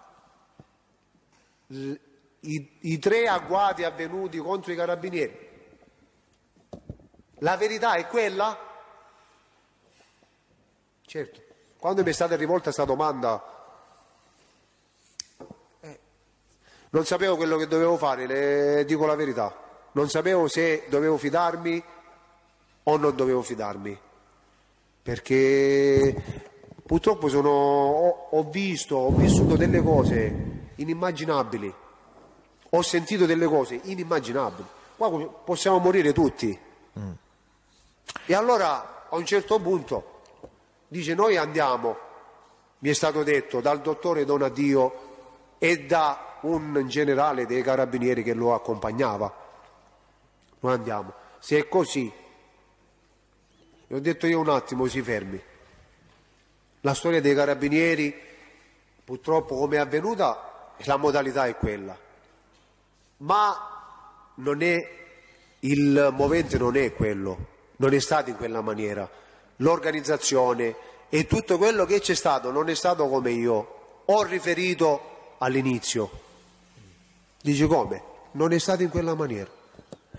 Noi, io e Giuseppe Calabrò, le azioni contro i carabinieri, sia dal primo momento del 3 dicembre 93 che del 18 gennaio 94, che se non mi sbaglio o del primo febbraio, del secondo 2 febbraio 94, Sì. non l'abbiamo fatto, io l'ho fatto perché Calabrò è venuto a casa mia e mi ha fatto un'esplicita richiesta. Dobbiamo uccidere dei carabinieri. E allora? Questa Villa- è stata la Villa- richiesta che mi Villani. è stato fatto. Siccome Calabrò sapeva che io volevo, scalpitavo perché me- mi dovevo mettere in evidenza. E allora raccolsi subito, dico, e qual è il problema? Purtroppo, scusate se io mi permetto a dire oggi così, ma questa è stata- queste sono le parole che io in quel momento capivo tanto e tanto facevo. Villani, adesso non dobbiamo avere fretta, perché lei vive in prima persona tutto quello che in questa sede assume rilevanza processuale. Io partirei da eh, eh, diciamo, un primo riferimento che lei fa, Sì. e cioè che Nino Lo Giudice le dice tu di quegli episodi non devi parlare Sì. quando glielo dice, in quale occasione e soprattutto che cosa le spiega sulle ragioni del silenzio. Allora, praticamente Nino Lo Giudice, io da quando Nino Lo Giudice è uscito dal carcere, io 97 cercavo, quindi, 97, 97. Bene. io cercavo di... Lei tra il 93, 94 e il 97 Nino Lo Giudice non lo incontra mai. Assolutamente, No. non lo posso incontrare perché... Mi perdoni, assolutamente non significa niente, o assolutamente sì o è No, assolutamente assolutamente no. Ma, la ringrazio. Non lo incontra mai. no. Quando lo incontra per la prima volta, in che occasione lo incontra e di che cosa parlate? Sì, io la prima volta che lo vidi sono stato il primo che lo vidi dopo- subito dopo che lui uscì dal carcere di Voghera e lo incontrai a Mortara, di provincia di Pavia. La prima volta che lo vidi, lì si parlò del più e del meno e, e anche lì cercai di fare qualche accenno, qualcosa, disse non è momento, non è posto. di par- di Lei par- cercò di fare qualche accenno? Sì, sì, O lui? Eh, no, no, no, lui su queste, su queste cose ogni tanto faceva qualche domanda, quando io andavo a rispondere qualcosa diceva "Bah, non dire niente, non dire niente. Quindi lei cercò subito di dire determinate cose e Nino Lo Giudice la stoppava. Sì, Lei è in grado di dirci oggi se Nino Lo Giudice la stoppasse perché già sapeva o per altri motivi? Guardi, io sono stato sempre convinto che Nino Giudice sapesse tutto. Di tutta la dinamica come, come- come era andata, sapeva tutto. Perché addirittura non mi spiegavo perché nessuno mi aveva fatto del male, nessuno mi aveva toccato, nessuno- e c'era stata anche Eh, diciamo mi era stato anche detto che c'era stata, c'era stata fatta una riunione su questi fatti dove, Prima di questi fatti? sì, dove praticamente eh, si prendeva eh, diciamo si prendevano determinati accordi allora l'accordo La riunione dove avvenne, La riunione- chi partecipò e quali decisioni vennero prese per quello che risulta a lei e poi ci spiega lei come lo sa. Sì, ma eh, in particolar modo a me spiegò tutti i particolari, non lo giudice in parte, ma Giovanni Chilà. Queste riunioni, questa riunione avvenne nella piana Gioia eh, di. Gioia Tauro, sì. Eh, parteciparono diciamo, oh, i personaggi che eh, all'epoca, cioè all'epoca, che rappresentavano l'andrangheta in tutto e per tutto, sia in Calabria sia fuori. Parliamo eh, dei De Stefano di Reggio Calabria. In particolare mi è stato detto che ci fu Peppe De Stefano addirittura personalmente. E soggetti appartenenti ai piromalli e, e soggetti come un, un capo carismatico come eh, diciamo dei, dei, capi carismatici eh, di, di, Cosa Nostra eh, anche, eh, siciliana. Eh, dico questo perché eh, dobbiamo tornare un attimo indietro e devo dire che nella pace che c'è stata a Reggio Calabria, la spinta per fare la pace a Reggio l'ha data Totò Riina. Salvatore Riina è venuto a Reggio, si è rivolto ai De Stefano si è rivolto ai piromalli, si è rivolto a tutte queste oh, oh, diciamo, oh, famiglie di importanza strategica dell'andrangheta per fermare sta guerra. Ma l'obiettivo qual era? Era fermare la guerra, però allo stesso tempo prendere degli accordi perché Totorrina voleva portare l'andrangheta, unitamente tutta l'andrangheta, a fianco di Cosa Nostra a partecipare a queste stragi che erano stati già, diciamo, pensati. Effettivamente la prima cosa che era stata pensata e poi è stato fatto anche il piacere dai De Stefano, per quello che io so dai miei familiari, e, e, c'è stato l'omicidio del giudice Scopelliti. Da lì ben, viene, viene fatto l'accordo tra una parte di Indrangheta e Cosa Nostra, ma una parte di Indrangheta strettissima perché tutto il resto dell'Andrangheta non ha voluto partecipare a, questa, diciamo, a, a, a queste azioni. Invece gli Arcoti, i De Stefano, in collegamento con i Garofalo, in collegamento con i Piromalli, decidono di favorire Totorrina, Salvatore Rina.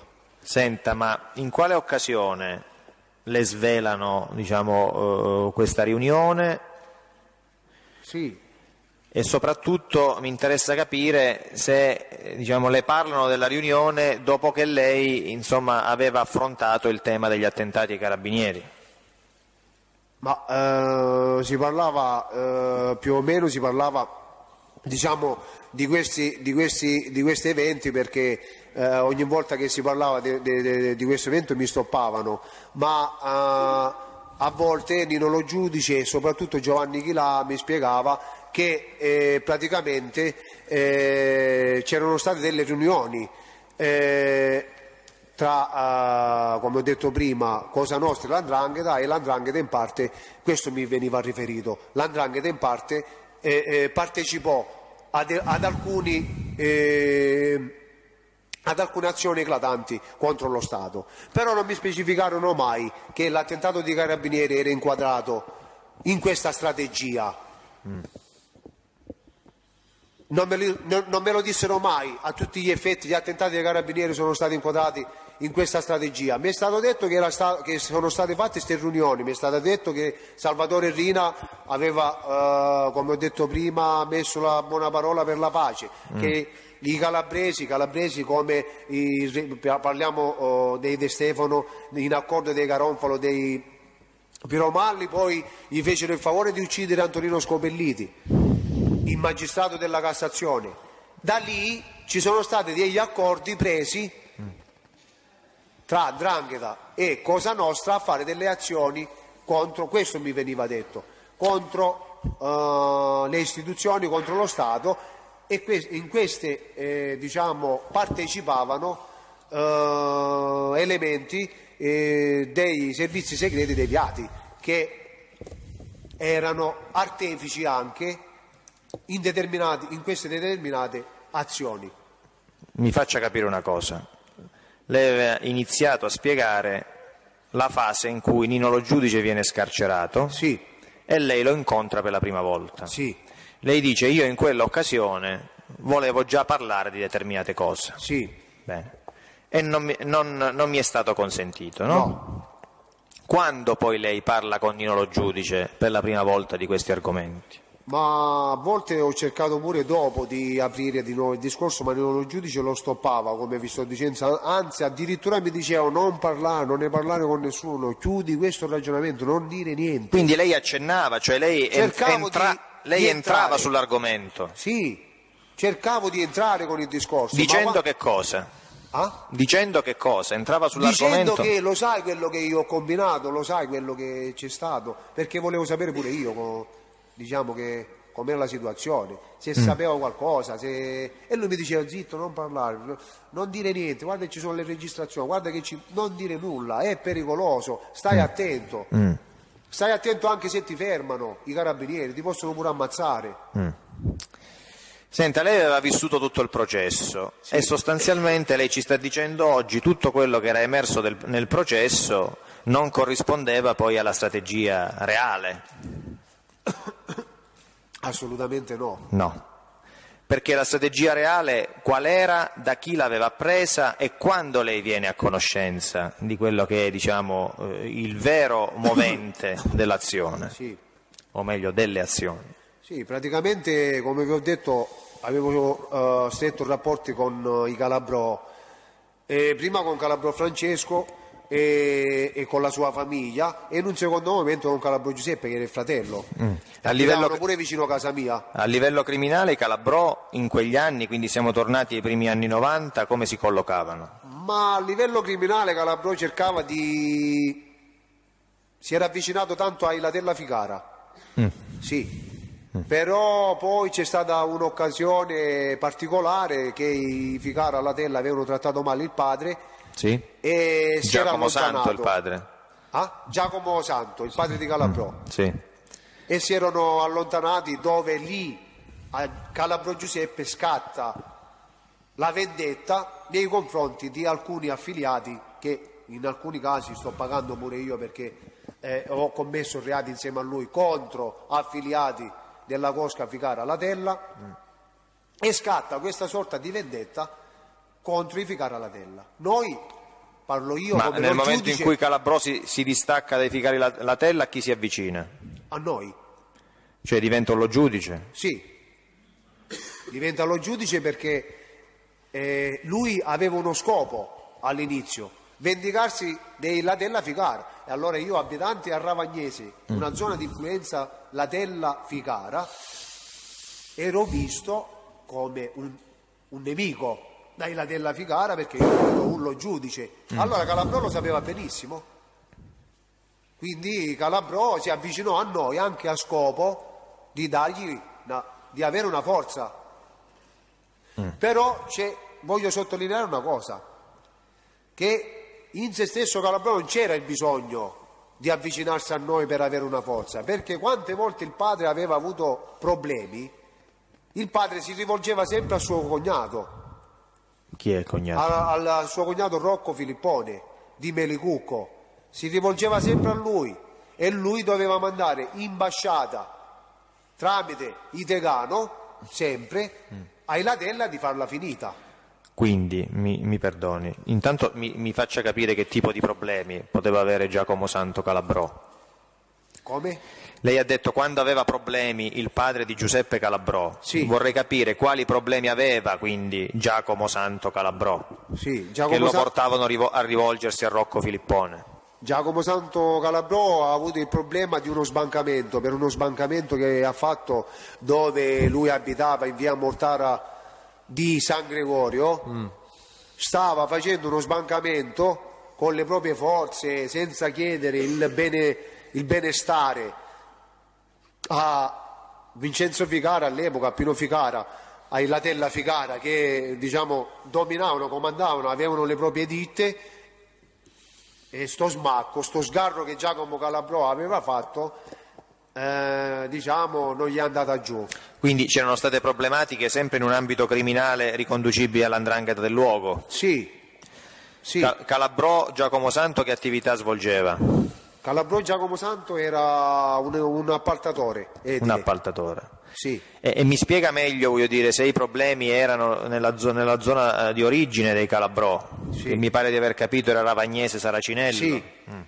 che cosa c'entrasse il rapporto con Rocco Filippone? Ma c'entrasse come? Noi stiamo parlando di una persona che rappresentava uh, l'apice dell'andrangheta, soprattutto nel mandamento di Renico. C'en- C'entrava e come? E diciamo che lui parlava alla pari con Giovanni Tegano. Eh, lui parlo di Rocco Filippone. Stiamo parlando di una persona che faceva il, diciamo, uh, il garante tra il bellocco e i pesce. Stiamo parlando di una persona che ha cresciuto i piromalli, stiamo parlando di una persona di un alto spessore criminale. Quindi quando Giacomo Santo Tutte cose che lei apprende in relazione all'altissimo spessore criminale di Filippone, in che modo e da chi? li apprendo intanto li apprendo da Calabro Giuseppe. Quindi già all'epoca? Sì, sì, sì, e poi mi vengono confermati quando io ho le i gradi di indrangheta, perché anche nel grado di evangelista io porto ancora sempre la copiata di eh, eh, Rocco Filippone e Antonio Barbaro. Quindi lei trascina anche Sì. quando diventa evangelista Sì, quella che era la copiata della Santa? Sì, sì, sì. Sì. Quindi quando Calabrò non voleva ogni volta, Calabrò Giacomo Santo non voleva ogni volta disturbare il cognato, ma quando non poteva fare del meno andava, lo trovava e il cognato mandava un'imbasciata e si calmavano tutti, stavano tutti tranquilli e si Cioè, andava avanti. Per quello che lei ha percepito direttamente, Sì, perché poi sono diventato un fraterno amico di Calabro Giuseppe, frequentatore della casa, frequentatore e sapevo anche dei problemi della casa Calabro. Bene. È Villani, allora fermiamoci un attimo. Lei ci ha detto prima inizio a frequentare i Calabrò partendo da Calabrò Francesco. Sì. Stiamo parlando poi della persona scomparsa Sì. il cui cadavere è stato rinvenuto in fondo al porto di Reggio Calabria, è corretto? Sì, sì. E poi subito dopo di Calabrò Giuseppe. Sì, Con queste persone, lei dice, anche prima degli attentati ai danni dei carabinieri, avevamo consumato delle azioni criminali. sì, È così? sì, sì. Le posso anche indicare quale azione, me li ricordo. Sì, se ce le indica nuovamente Guardi, vuol dire... abbiamo- le- sì, allora con Calabro Giuseppe eh, insieme a Calabro Giuseppe abbiamo sparato a Pietro Neri e a suo nipote, a ne- San Gregorio. Nell'estate 93. Nell'estate 93 erano sul Vespino, Mm. vicino al ponte dove c'era il bar di Domenica Enrico. Bene. E, Eh, e ancora prima con Francesco? Invece con Francesco abbiamo sparato la serranda di Giacomo e di Giovanni Stillitano. Giovanni Stillitano è il cugino di Pino Ficara. Benissimo. della Tella. Benissimo. Anche quelle erano azioni che si inserivano in dinamiche di indrangheta Sì, e voi agivate su mandato di altri. sì, Di chi? sul mandato della, de- de- della vendetta giustamente sia da parte nostra come lo giudice che odiavamo i Latella Ficara e sia da parte de- di Calabrò che voleva vendetta su quello che era accaduto al padre. Benissimo. Calabrò Giuseppe e Calabrò Francesco erano già ndranghetisti in tutto e per tutto? Assolutamente no. No. Non- non sono e stati e mai affiliati. E come potevamo classificarli, diciamo? Come? Come li dobbiamo classificare, quindi? All'epoca che cos'era? Ma erano contrasti onesti, riconosciuti. Cioè era- erano in quella zona di limbo sostanzialmente? Sì, eh? però erano affidabili, anche perché avevano delle referenze importanti. Erano, diciamo, ve- provenivano da una famiglia che eh, aveva, ci dava delle garanzie. Vi dava delle garanzie per i motivi che ci ha spiegato prima, quindi per i rapporti di parentela? Sì, Erano queste le garanzie Sì, più sì. importanti che dava? anche perché anche noi potevamo usufruire in questa maniera, avevamo un altro alleato.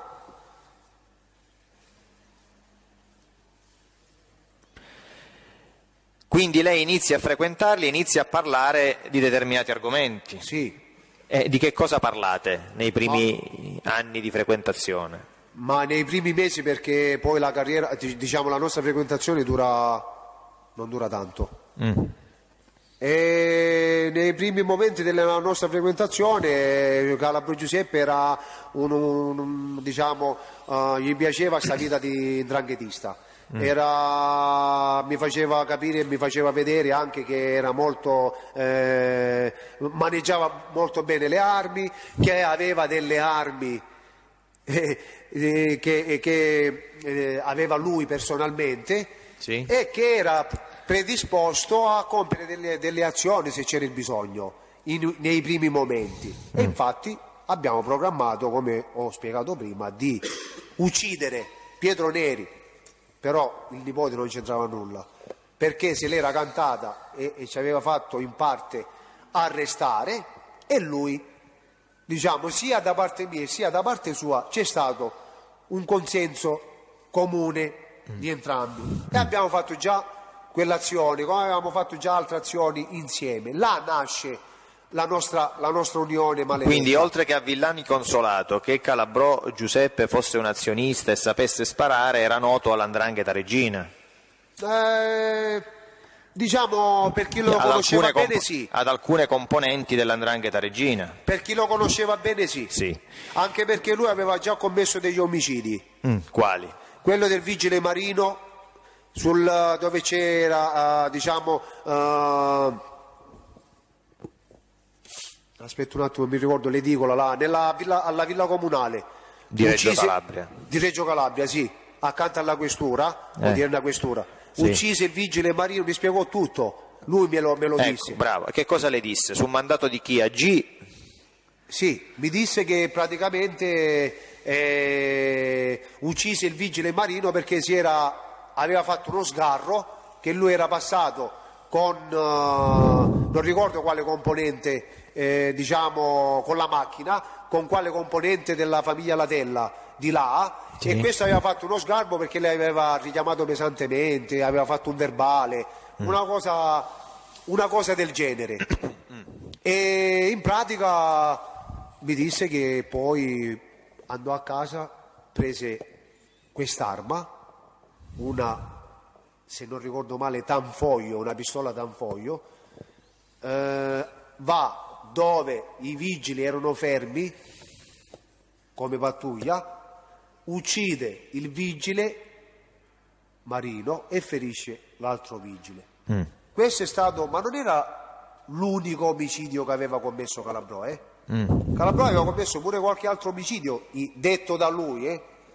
Perché Calabrò mi disse che partecipò all'omicidio di Luciano Martino, di due giovani che avevano forse, non lo so che avevano fatto, di- avevano fatto uno sgarbo, uno sgarro a lui. Mi raccontò una storia del genere che lui partecipò con l'aiuto dei Latella, con l'aiuto diciamo in quell'epoca che lui era insieme ai Latella, partecipò a questo omicidio. Là ci fu la morte. Quindi, quindi, dice lei, era già abituato a determinate azioni, Sì. era anche conosciuto come uno che sparava bene. Sì, Le disse mai, le raccontò mai come eh, era stato istruito, da chi, all'uso delle armi? Ma direttamente no, mm, precisamente, precisamente no. No. No, precisamente no. Anche, eh, comunque lui aveva anche tante persone dove, eh, diciamo, lui legava, e aveva molta fiducia e, e- e- e dimostrava, eh, diciamo, eh, un certo legame basato su cose che io non riuscivo a capire. Eh, lui aveva dei legami anche perché in altre zone della città Sì. dove cercava manforte pure su, determinati- su determinate cose come nella zona dove il padre Giacomo Santo aveva costruito eh, essendo un appaltatore edilizio aveva costruito dei palazzi Nella zo- zona di Condera Di Condera. Condera nella zona di Sant'Antonio precisamente Sant'Antonio, Salita di Sant'Antonio il, il santuario. sì, Quindi la stiamo- chiesa e il santuario stiamo- allora io ricordo bene Scusi, la zona di Reggio Campi. Reggio Campi sì E sotto, sotto l'influenza criminale di quale famiglia è il santuario di Sant'Antonio? dei libri Dei libri. sì sì assolutamente Senta, lei prima eh, parlava di un legame eh, Ficara la Tella Libri, o ho capito male? quando?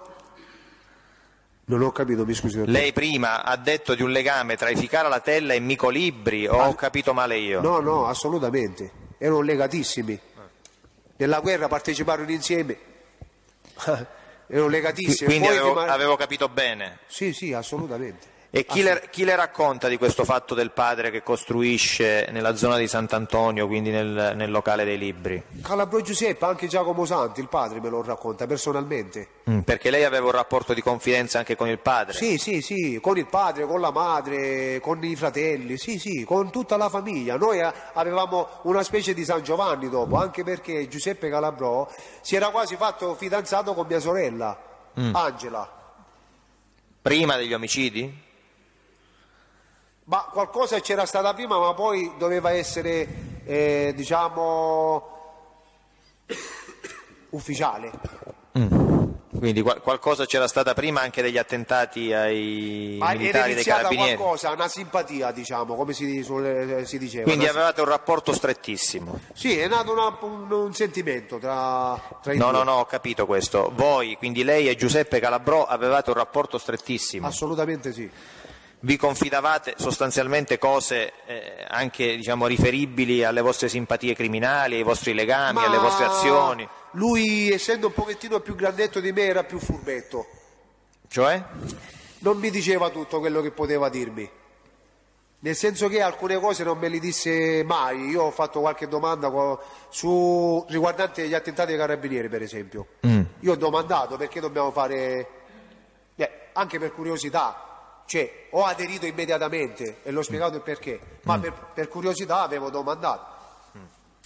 E allora Villani, noi abbiamo più o meno ricostruito diciamo, anche eh, attività criminali precedenti a quelle che ci interessano Sì. E ora dobbiamo cercare di, di comprendere con attenzione, sulla base di quello che lei sa, come si arriva al discorso tra lei e Calabrò che le parla di questi attentati da compiere ai danni di appartenenti all'arma dei carabinieri. Mm? Sì. Quando gliene parla per la prima volta? In che Ma- occasione? La prima volta me ne parla subito dopo, diciamo, tra eh, il dicembre, se non ricordo male, nel settembre, ottobre del 2013. Mi due- dice... del 2013, eh, cioè del l'al- l'altro giorno, 93, scusi. del 93. Scusi. Si fermi un attimo. Le risulta se in quel periodo Calabrò Giuseppe acquistasse armi e da chi? Sì, acquistava armi dai Carella di Palmi. Chi Sì. sono i Carella di Palmi? I Carella di Palmi erano, diciamo, il fratello Maurizio era all'epoca un affiliato della Cosca d'Agostino di Palmi. E insomma tutti i fratelli godevano, diciamo, della stima eh, di questa vicinanza con la Cosca d'Agostino. E allora all'inizio eh, le armi che poi pure io andai a prendere eh, insieme a lui, eh, diciamo li prendeva, li acquistava dai Carella che avevano un negozio di eh, ricambi di olio, di ricambi per macchina, eh, quello che ricordo, eh. Sì. ed era vicino al commissariato se non mi sbaglio di Palmi Sì. a fianco, più o meno questo mi ricordo. E alcune armi, non tutte le armi, alcune armi, ma le armi che abbiamo ucciso, scusate, abbiamo usato nei tre attentati, Sì. le abbiamo presi a Palmi. Le avete prese lì. Sì, E come mai andavate a Palmi ad acquistare queste armi? Non credo che a Reggio Calabria non ci siano rivenditori.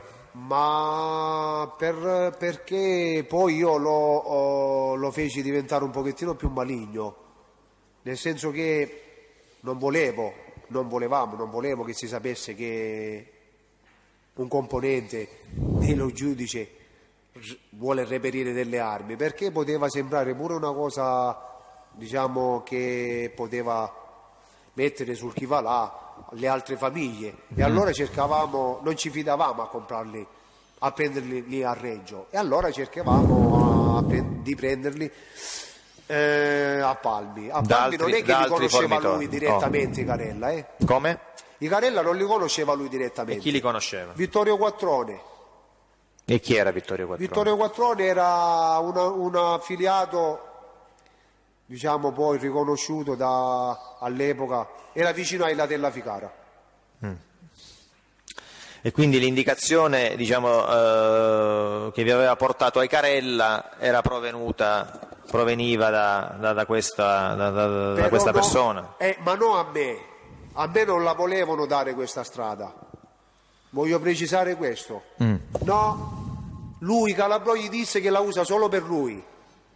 Quindi Perché erano suoi fornitori, sì, ma per lui, per lui, per Calabrò. per lui. Non per noi, perché Vittorio Quattrone a noi ci vedeva come antagonisti, no, come nemici. Mm. Noi lo giudice parliamo. Senta, i soldi per acquistare queste armi dove le prende- li I prendevate? soldi o li prendeva Calabrò o si faceva qualche rapina o, o i soldi li hanno messi qualche volta i miei zii,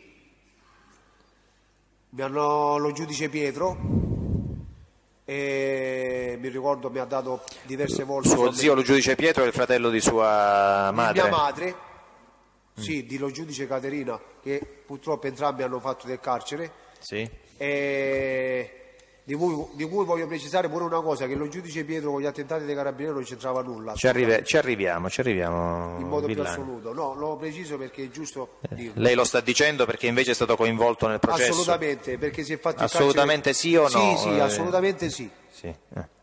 Quindi ha fatto l'accenno per questo motivo. Sì. Quando inizia l'acquisto da parte di Calabrò e poi in parte anche da parte sua per conto dello giudice delle armi dai Carella? Allora, noi iniziamo nel 93, Nel 93 quando? 93 fine 93.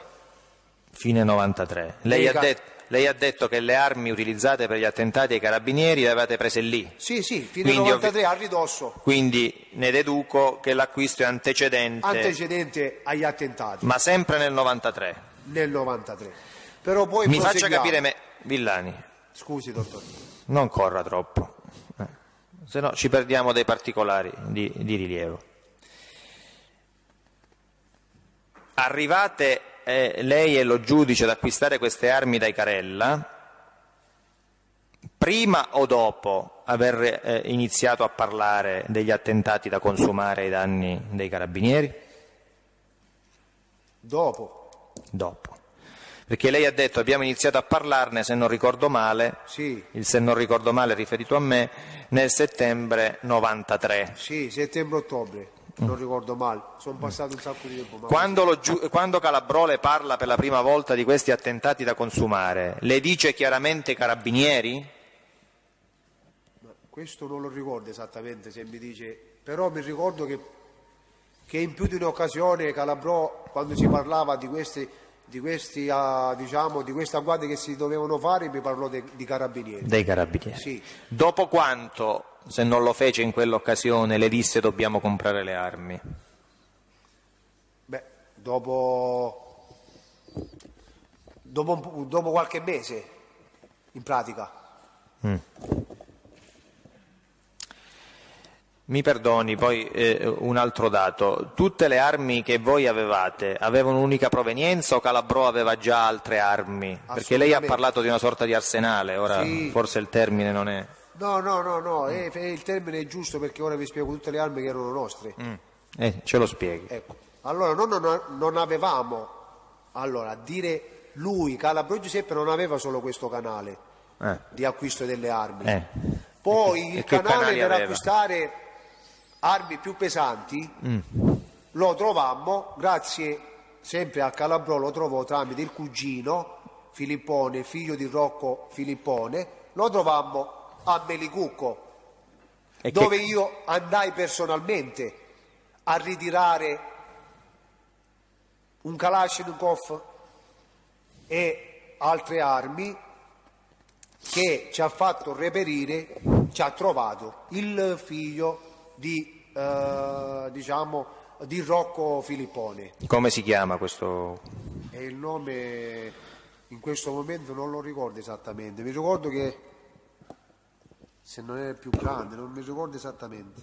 Quindi il figlio di Rocco Filippone, lei dice, costituiva un ulteriore canale di approvvigionamento di armi Sì. a favore di Calabrò Giuseppe e di Villani Consolato. Sì, E il figlio di Filippone, queste armi dove le prendeva? Le deteneva lui? Guardi, io quando sono andato una volta nella villa di Rocco Filippone a Melicucco, Sì, Calabrò mi disse, li vedi questi alberi di sì. mandarini, di aranci, che sono belli pieni? Io Sì. gli ho detto sì, qua sono nascoste tutte le armi, Tutte le armi di chi? Tutte le armi di chi? le armi di suo zio, di, di- di Filippone, no? Le armi che erano in disponibilità di Filippone. Quindi venivano, Eravamo sot- sul terreno venivano sotterrate praticamente eh, do- dove c'erano questi, questi alberi. Sì, ma non sotto, tra i rami. Mm. Perché erano alberi mandarinari, clementini, erano alberi quelli fitti. Ho capito. Quando lei va a casa di Filippone e quindi quando Calabrò le dice questa cosa? Io vado a casa di Filippone dopo, se non ricordo male, dopo che ci sono stati, eh, diciamo, io- dopo l'omicidio dei carabinieri. Dopo l'omicidio, intende quindi dopo l'episodio di, Di gennaio? Perché gli episodi sono tre. Sì. Ah, ah, io non ho capito una cosa però, ho detto, mi scusi, Sì. quando, quando vado per le armi o quando No. vado Allora, alla faccia- villa? Facciamo chiarezza. Allora, voi iniziate a- ad approvvigionarvi di armi. Lei ha detto dopo aver parlato degli attentati da consumare ai danni dei carabinieri nel settembre 93. Sì. Giusto? Sì, E comprate queste armi dai Carella, sì, però avete anche altre disponibilità. sì, Tra le ulteriori disponibilità e canali di approvvigionamento, lei ci indica il figlio di Rocco Filippone. Sì. È così? sì, sì, esattamente. Benissimo. Quindi tutto antecedente agli attentati ai carabinieri. Sì, Sì. Poi lei riferisce di essere andato a casa di Rocco Filippone Sì. e in che quell'occasione Calabrò Giuseppe le mostra degli alberi sì, e le dice tra gli alberi ci sono le armi di mio zio. sì. Giusto. Eh.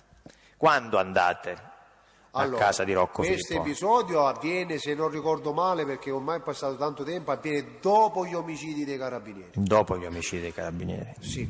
Dopo il primo episodio o dopo tutti e tre gli episodi? Era la domanda che le ho No, fatto. dopo il, secondo episodio che avviene l'omicidio dei Quindi dopo l'omicidio, dopo il duplice omicidio, quello di gennaio? Sì, Sì.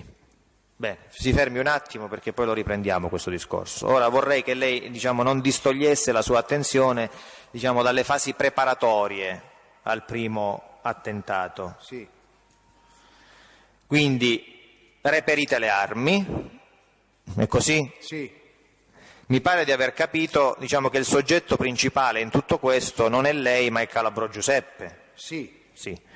Che cosa le racconta nei mesi antecedenti al primo episodio del primo e 2 dicembre del 93? Ma racconta se ero disponibile a partecipare a un'azione contro i carabinieri. Mm. E in che termini si esprime? Ci faccia capire Dobbiamo meglio. uccidere dei carabinieri. Dobbiamo uccidere Sei dei carabinieri. d'accordo? Vieni con me? Le dice altro? Le fornisce altri particolari? No, mi dice che dobbiamo fare stazione, dobbiamo e di non, non parlare con nessuno. Le dice dove devono essere colpiti i carabinieri? Le indica un luogo preciso? Eh, no, perché praticamente all'inizio no, perché infatti il 3 dicembre eh, diciamo scegli una zona 1 e 2 dicembre, non 3 dicembre. Ah, scusi, 1-2 dicembre scegli una zona che lui era sicuro che da lì transitavano, transitavano qualche gazzella dei carabinieri. Siamo nell'episodio di Saracinello, Sì, il primo. sì, Ce lo descrive? sì. Allora praticamente viene utilizzata l'autovettura che era intestata a mia madre, se non ricordo male, o a mio padre. Sì. Perché? Che autovettura era? Una regata. Perché? Fiat Regata. Sì, una Fiat regata. Calabrò viene e mi dice, senti, non possiamo rivolgerci agli zingari per trovare una macchina, perché poi, questi parlano.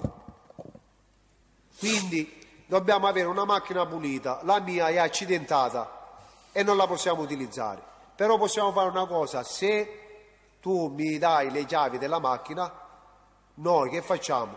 Gli mettiamo delle targhe rubate e facciamo questo discorso con una macchina pulita. Dopo che abbiamo fatto questo discorso, tanto là la zona all'epoca non era, tanto, eh, non era sorvegliata, assolutamente. Togliamo le targhe, prendiamo la macchina, gli montiamo le sue targhe, la portiamo nel garage, gli montiamo le sue targhe di nuovo e la riportiamo a posto. Non se ne accorge nessuno. Le targhe le abbiamo rubate a San Gregorio, a fianco del bar di Mimmo, di Domenico Enrico, Sì. E partiamo. Quindi Lui- predisponete l'autovettura con le targhe Sì, rubate. sì. E partiamo. Lui faceva un giro di ricognizione verso Partite armati in che modo?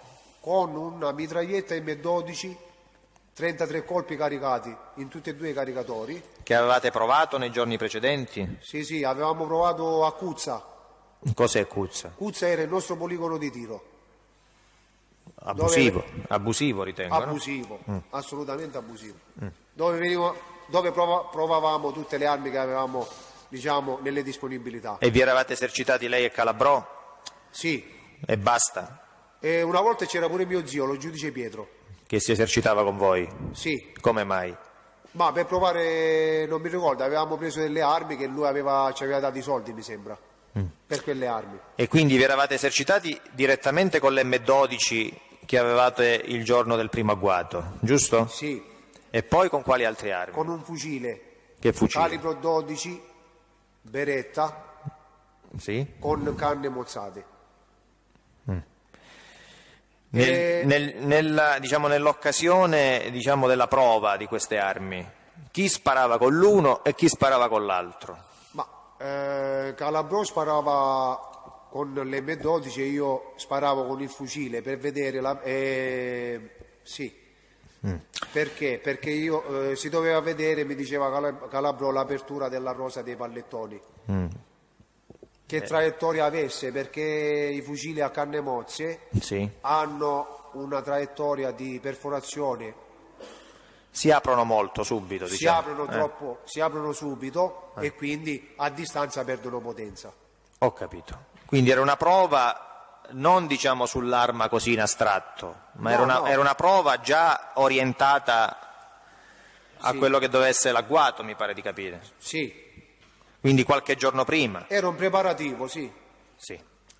Quindi fatta la prova, allestite la macchina sì, e eh, diciamo eh, lei e Calabrò, eh, ognuno con le armi di, di competenza, iniziate la ricerca. sì. E ci spieghi bene, perché lei parla di ricerca.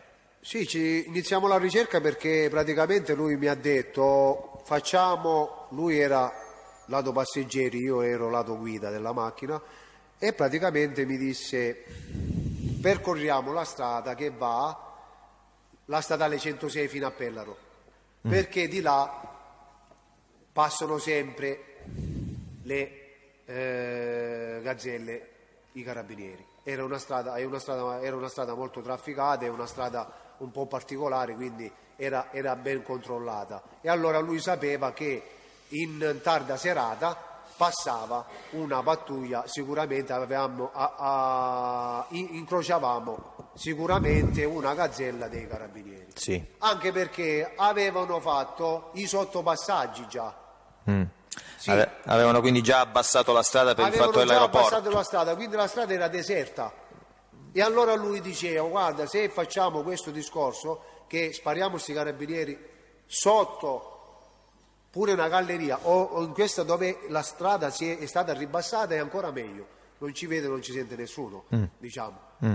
Quindi il luogo era stato scelto anche per queste caratteristiche. Sì, sì, Sì. non c'erano telecamere, non c'era niente. Eravamo coperti là, anche perché più avanti avevamo gli svincoli. Ma lui voleva scendere poi dalla Fiumara, in pratica. C'erano de- tante vie di fuga che potevamo prendere e passare inosservati. Quello era il vostro territorio all'epoca. Eh, sì, eh, avevamo, diciamo, eh, eravamo risaliti in quel territorio, perché le- quello era un territorio appartenente a Ilatella Ficara, ma noi eravamo riusciti a, a fare... Il vostro territorio intendo eh, non vuol dire che eravate voi a comandare su Ah. quel territorio, cioè voi vivevate lì. Sì, noi, noi io sono nato lì, quindi sapevo tutte le vie, le, le viuzze e tutto. Sì, sì, Lei dove viveva all'epoca? Proprio lì, io vivevo a, cen- ma a linea d'aria a 100 metri, a 100 metri dal luogo dell'agguato. ma un, un 100-200 metri. E Calabrò? Ma Calabrò più vicino, è più vicino, Calabrò è più vicino. Più vicino che vuol dire? Più vicino al luogo dell'agguato? Sì. Ancora più vicino. Calabrò mi sembra che comunque la distanza è là perché poi... Quindi, quindi voi vivevate lì, in poche parole. Cioè, quella era la, vos- era la vostra zona, diciamo, di elezione, la, la- la zona che forse conoscevate meglio. Sì, Sì. Quindi uscite in macchina con la, con la regata, armati, due armi a bordo, Sì. l'M12 e il calibro 12, sì, e iniziate la ricerca. Sì. Come si svolge questa ricerca? ma la ricerca mi ricordo così che abbiamo fatto qualche giro perché non si intravedevano gazzelle. Mm. L'ultima volta abbiamo girato al semaforo a Pella. Qualche giro che vuol dire? Qualche Arrivavate dove? e- e- Eh, perché uscivamo a Saracinello e tornavamo indietro. Ok, una sorta di circuito avete fatto. Sì, in pratica. E arrivavamo al semaforo a Pellaro, giravamo, tornavamo a Saracinello, uscivamo, torna- insomma facevamo questi giri alla ricerca e praticamente dopo qualche... Quanto è durato questo giro, Villani? Ah? Il, il giro, quanto è durato? Quanto avete Ma girato? il giro non, non riesco a quantificare esattamente Quanti quanto- giri avete fatto? Insomma, ne ci abbiamo fatto, guarda, più di Quanti chilometri? Ma un po' di chilometri l'abbiamo fatti perché tenga conto che Saracinello Pellaro sono già un 5-6 chilometri mi sembra. Mm. Eh, quindi due o tre volte abbiamo girato, abbiamo fatto un po' di chilometri. Si erano fatti pure le 11 e qualcosa mi sembra. Ah, Perché lei, lei prima diceva no- non passavano gazzelle, quindi eh, cioè, ci fa capire che Era più tardi. eh, avete as- aspettato un attimo, no? Sì, prima sì, che- sì. Ecco. Quindi, ad un certo punto, Ad un certo punto vediamo, intravediamo, facciamo questo giro, intravediamo una gazzella davanti venendo verso Saracinello, da Pellaro verso Saracinello. sì, E allora arrivati, allora voglio precisare una cosa, che Calabrò non doveva uccidere, e non doveva uccidere i carabinieri con l'M12, Al- no, li doveva sparare con il fucile perché quando abbiamo fatto le prove delle armi, lui mi diceva il fucile è più micidiale, è più pericoloso, 5 colpi a pallettoni sono 45 colpi di pistola, quindi spariamoli, dici io li sparo meglio con il fucile, va bene, Il- l'M12 lo lasciamo per protezione. Va bene. Siamo arrivati all'altezza della prima galleria della- e allora dice sorpassali. O quasi o nell'ultima galleria, comunque in che tratto? Dove la strada è stata ribassata. E allora quando io mi sono affiancato, Calabro aveva alzato il fucile con il, il finestrino aperto e l'aveva sporto. E da lì c'è stato un attimo di esitazione da parte di Calabrò, Sì. tanto che ha salvato la vita ai militari, perché i militari si sono accorti che c'è stato qualcosa e hanno rallentato di colpo sì. e noi siamo passati avanti. Passando avanti, i militari, vedendo che c'è qualcosa che non andava, iniziano una specie di inseguimento per fermarci.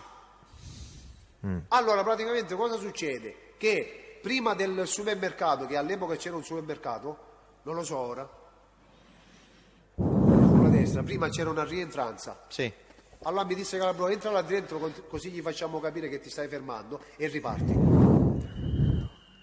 Praticamente entro e i carabinieri entrano, fa come se stavo per fermarmi, riparto.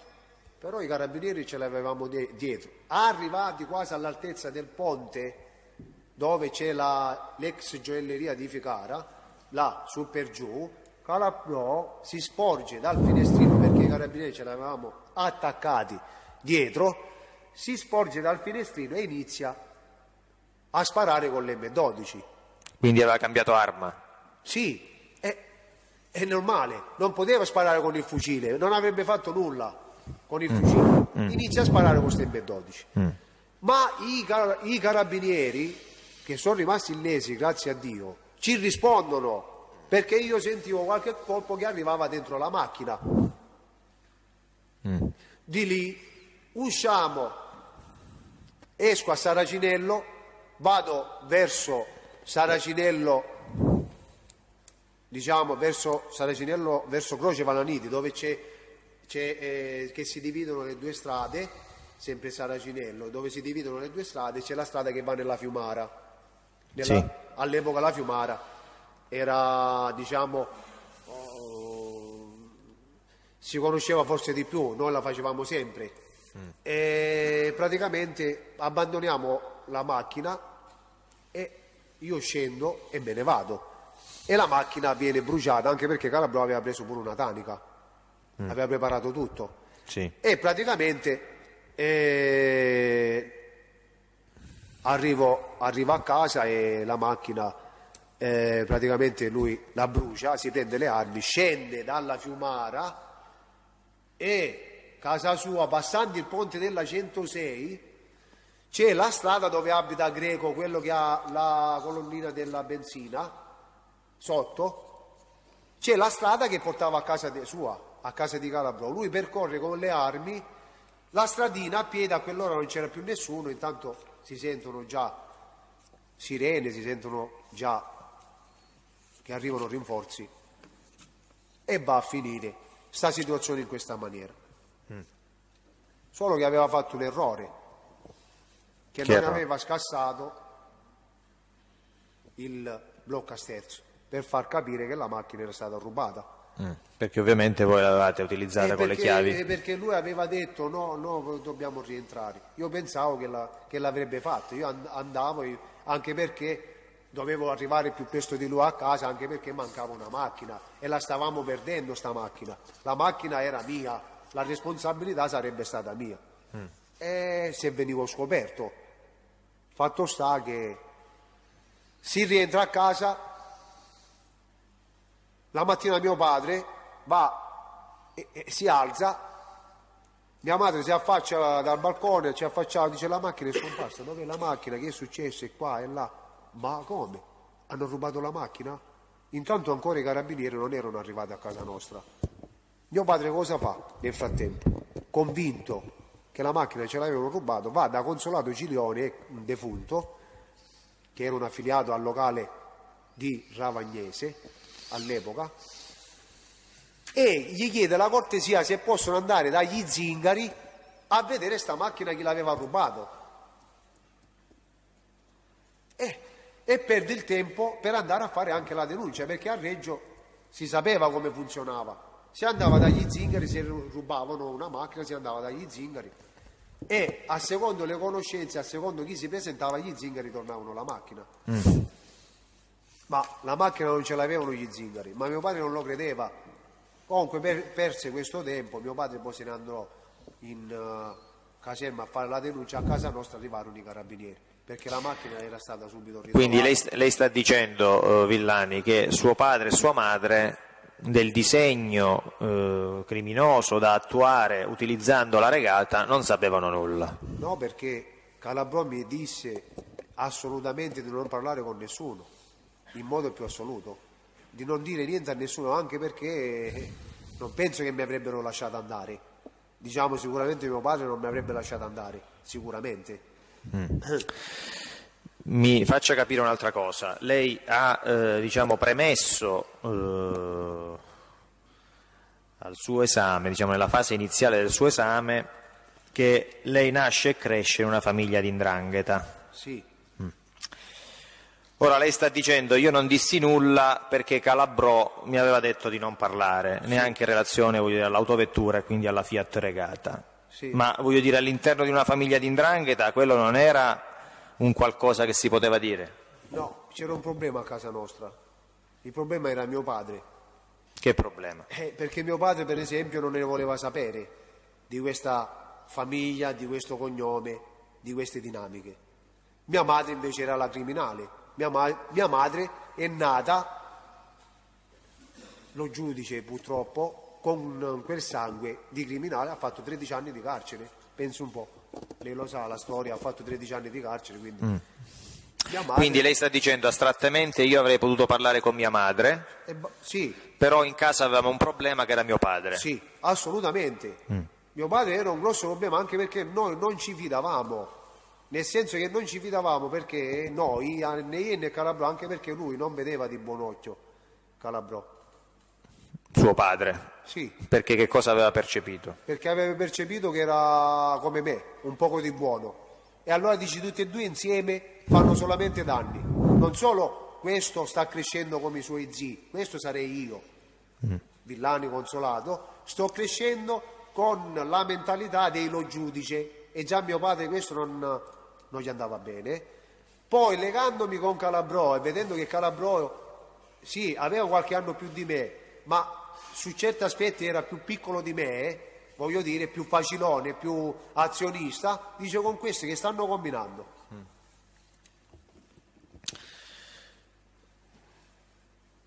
Quindi eh, Calabrò fa l'errore, non rompe il blocco di accensione, lei ci stava dicendo. Sì, a questo mi risulta, mi ha detto che non l'ha rotto, poi Oh. I suoi si accorgono che manca la regata, sì, suo padre ne denuncia il furto sì, ma lo denuncia più tardi, sì. più tardi. Quali sono diciamo, eh, i passaggi immediatamente successivi al primo agguato? Arrivano i carabinieri a casa nostra, fanno un macello, si portano via mia madre.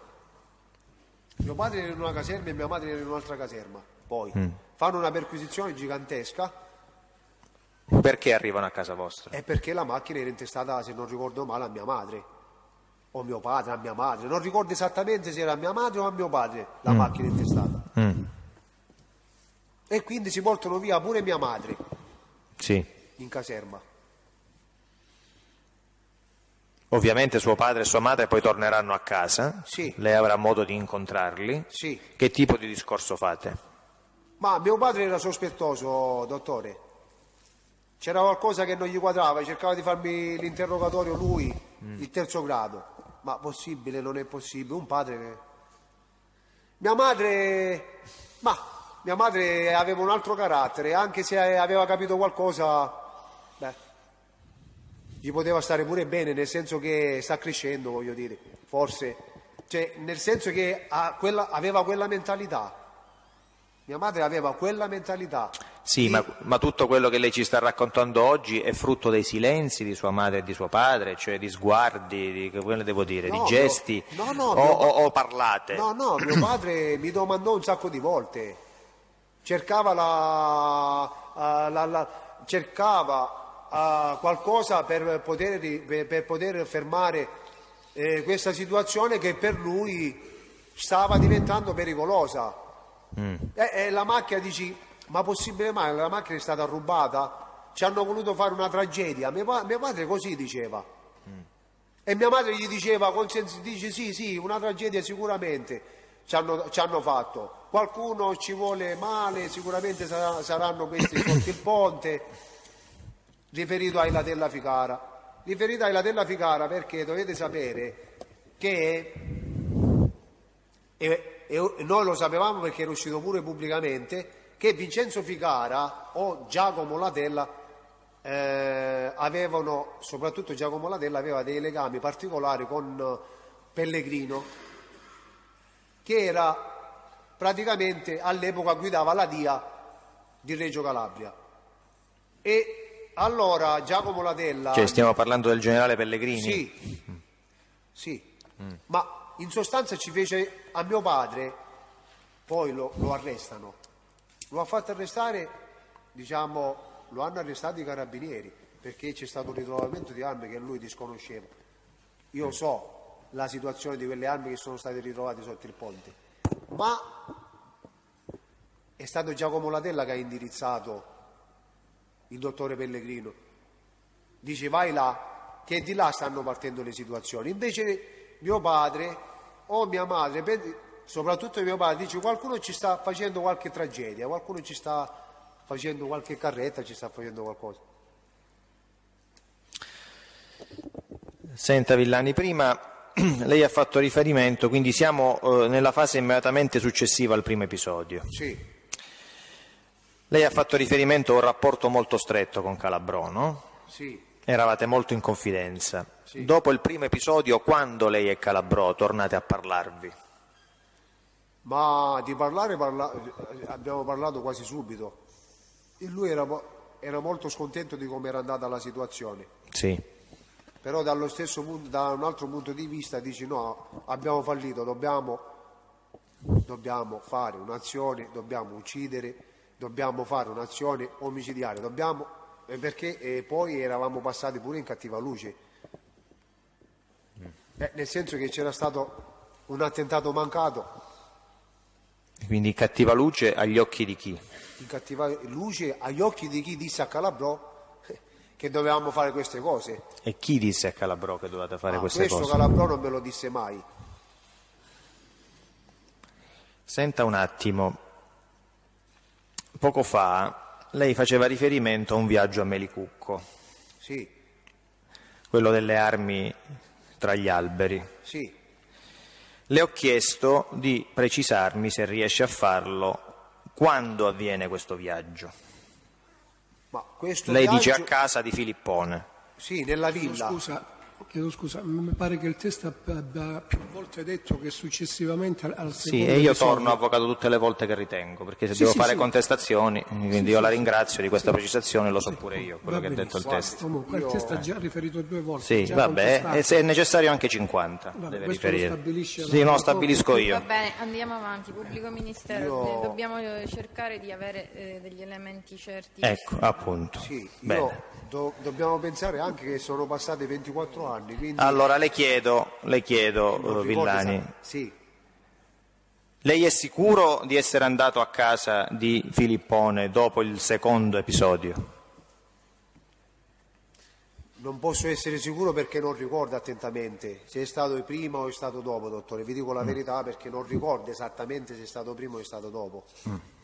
E allora nel verbale del 4 giugno del 2013 Sì, lei dice di essere andato a casa di Filippone dopo il primo episodio. sì, sì, e lo confermo, confermo perché evidentemente eh, la mia memoria mi ha fatto ricordare che sono andato oggi, in questo momento, dopo tutto questo tempo passato, e anch'io alcune cose se non sono così, a volte devo fare mente locale, mi devo un attimo. E perché dopo il primo episodio Allora, voi andate a casa di, di Filippone Rocco? allora, il primo episodio mi ricordo una volta siamo andati io e Giuseppe Calabrò da soli, da Rocco Filipponi. Poi siamo andati io, Giuseppe Calabrò e mio padre. Ecco. Quindi lei è andato più volte a casa Sì, sì, di sì. Rocco Filippone. Poi Rocco Filipponi è venuto pure a casa nostra con suo compare Mercurio. E quindi è un terzo incontro. Sì. Bene, allora andiamo per ordine. Sì. Il primo incontro, dopo aver consumato eh, l'agguato di- dei primi di dicembre, Sì, coinvolge lei e Calabrò. sì. E io in... Perché andate a casa di Filippone? Ah, questo non lo so. Come si arriva a quel viaggio a casa di Filippone? Questo dice ti presento mio zio. Andiamo, ti presento mio zio. Dice Calabrò. Sì, Lei fino a quella data e lo zio di, di Calabrò non l'aveva mai conosciuto? l'avevo solo sentito nominare. Nei termini che ci ha eh, detto ora e in altri termini? Nei termini che ho, det- che ho detto fino ad ora. Come uomo di indrangheta l'avevo sentito nominare. Quindi anche prima degli episodi ai danni dei carabinieri le era stato detto che Filippone era un uomo di indrangheta? Sì, sì, sì. E da Come? chi? Da si chi? vantavano i Calabrò. Giuseppe Calabrò si vantava chi era suo zio, sì. E che cosa diceva? In che termini ne parlava? Diceva che suo zio lui lo descriveva come mamma santissima, a, tal punto che poteva interagire con i piromalli, con i pesci, con i bellocco, lo, rispettano tutti, interviene se ci sono eh, diciamo, contrapposizioni tra di loro. Un uomo importantissimo nella, eh, di- diciamo, eh, come spessore criminale dell'andrangheta.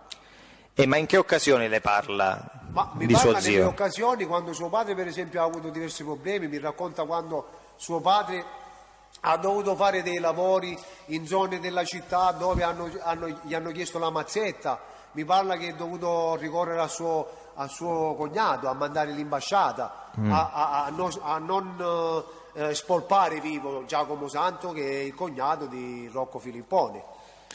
Quindi mi pare di capire che quando lei si ritrova Rocco Filippone nella copiata di Santista, Sì. per lei non è un nome nuovo. No, no, no, assolutamente. Non è un nome, è un nome nuovo, però sono rimasto, vi dico la verità. Perché è rimasto? È rimasto, è rimasto sorpreso. Lei ha, purtroppo sì. ha questa- questo vizio di troncare. Sì, sono È rimasto sorpreso. Sì, Perché?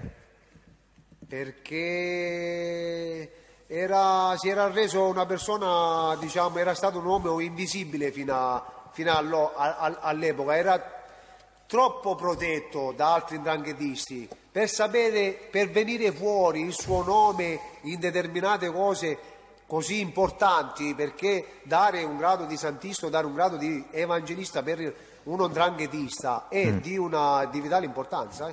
sono Mm. Certo. dei riconoscimenti. E, e questo l'ho capito. Eh, che Però- veniva fuori il suo nome, Eh. pensavo che la sua carriera fosse andata un pochettino a scemare per il fatto che suo nipote era Mi- collaboratore. Mi perdoni. Se questo eh, fosse avvenuto in relazione al Picciotto, ma il nome di Filippone viene fuori in relazione a un grado altissimo Sì. e al grado proprio che, come dice lei, apre la strada alle relazioni con altri mondi. Sì, Ce lo ha spiegato lei che cosa significava essere diventato santista. sì. Quindi perché in relazione a quel grado così alto l'aveva comunque sorpresa il riferimento a Filippone? perché non pensavo che eh, con un nipote collaboratore poi potesse continuare quella carriera che avevo, che io ricordavo che chi era Rocco Filippone. E spiegherò pure dopo nelle altre fasi dei nostri incontri perché.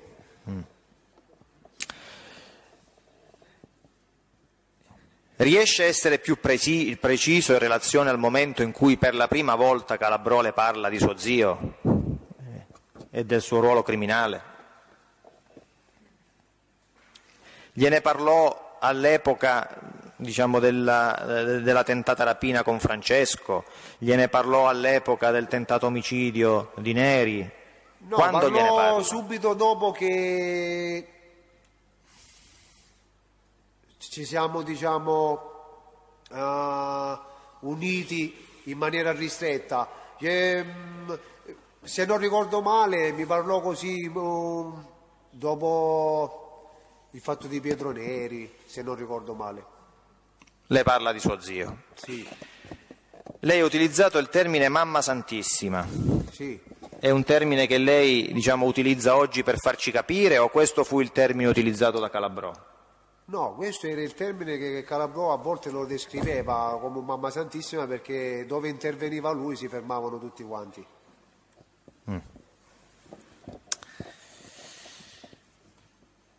Le chiedevo prima perché dopo la prima azione di fuoco andate da Filippone. Lei dice mi portò Calabrò. Sì, Che cosa avvenne nel corso di quell'incontro? niente, mi presentò, mi ricordo che entrammo in questa villa, diciamo, che era situata all'epoca c'era sullo stradone che faceva Rosarno per andare sulla Ionica. Sì. Noi prendemmo quella Quindi strada. la strada dei due mari. Ah? La Sì, strada dei sì, due mari. Mm. Sì. Arrivammo e c'era lo svincolo per eh, Melicucco, Anoia, quelle zone là, Mm. a sinistra. E, e proprio quasi vicino c'era una vecchia eh, area di benzina che era chiusa. Dove in quell'area di benzina chiusa noi abbiamo trovato, abbiamo provato il Kalashnikov che ci è stato dato dal figlio di Rocco Santo Filippone dopo. Eh, praticamente noi siamo- abbiamo fatto qualche curva, siamo saliti verso Melicucco e non riesco a quantificare. Sulla sinistra c'era una villa, sulla sinistra. Sì. Ci siamo fermati, mi ricordo che c'era pure un cancello dove si entrava e, e ricordo che, diciamo, bene o male era una casa nuova fatta, nel senso che mi sembrava una villa fatta da, da poco tempo. Quindi costruita da poco. Sì, sì, di quello che ho visto sì. E, E lì, vi- lì che cosa è avvenuto? e lì è avvenuto che mi presentò, dice, è mio zio. Allora a suo zio gli disse questo è l'amico mio che ti ho parlato, che ti parlo, consolato. Cioè, questa è stata, diciamo, Quindi mi, una presentazione. mi perdoni. In sua presenza Calabrò Giuseppe disse allo zio questo è il mio amico di cui ti ho parlato, Sì, aggiungendo altro? No, poi io sono rimasto più indietro. E Calabrò e suo zio sono- erano più vicini. E, e- io ricordo che Calabrò gli disse qualche parola che io non compresi esattamente da dove mi trovavo e suo zio mi ricordo che mi guardò e fece tipo una risatina, tipo, compia- tipo ah lui è tipo una cosa del genere. Questo è quello che lei percepisce Sì. in quell'occasione. Sì. Lei poi parla di altri incontri con Calabrò, con eh, Filippone, mi scusi, Sì, e parla anche di un incontro a cui è presente suo padre, Villani Giuseppe. sì. Sì. Quando avviene questo secondo incontro? Questo, mi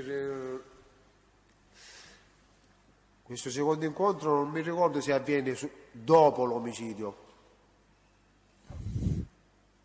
Io ricordo che a casa mia diciamo, c'era eh, un'aria bruttissima con mio padre. Non, eh, mio padre ha chiamato pure Giacomo Santo Calabrò, il padre di Calabrò, gli disse di basta che questi che non lo so che è quello che stanno combinando, devono stare distanti, devono stare lontani. E Allora, Quindi- siccome pure mio padre sapeva che quello che diceva Rocco Filipponi era legge, nel senso che sapeva che Rocco Filippone, diciamo, era una persona, era suo zio e che lui sentiva se gli diceva una cosa. E, e allora, dalla disperazione, Ma mi perdoni, suo padre sapeva chi fosse Rocco Filippone sulla base di cosa? Di quello che le aveva detto lei? Chi gli aveva sì, detto di lei? quello che, sì, sì, anche Calabrò certe volte gli, gli parlava, mio zio, cioè, lo vantava, no? E allora dice, io ho chiamato a suo padre e con suo padre non si ferma. E, e allora che devo fare? Questi sanno chissà quello che stanno combinando. Vabbè, quindi, qui- quindi questo è un incontro, diciamo, successivo rispetto al primo, non di qualche giorno, mi pare di capire di circa un mese No, dopo, dopo. sì, E allora fermiamoci un attimo, perché lei dice nel corso del primo incontro io rimango un passo indietro sì, e Calabrò parla a breve distanza con lo zio, sì, vicino, vicino. Tant'è vero che a un certo punto lo zio mi fa un sorrisetto. sì. Villani, la domanda che le faccio è questa. Lei è in grado di dirci, sulla base degli incontri che lei ha avuto con Calabrò, sulla base dei discorsi che lei ha fatto con Calabrò, sulla base di quello che lei ha visto, percepito e sentito negli incontri anche con Filippone, se Filippone Rocco fosse al corrente del vostro ruolo in relazione agli attentati ai carabinieri? Io penso di sì, Lei pensa di sì sulla base di che cosa? sulla base perché Calabrò mi disse che a suo zio gliel'aveva detto.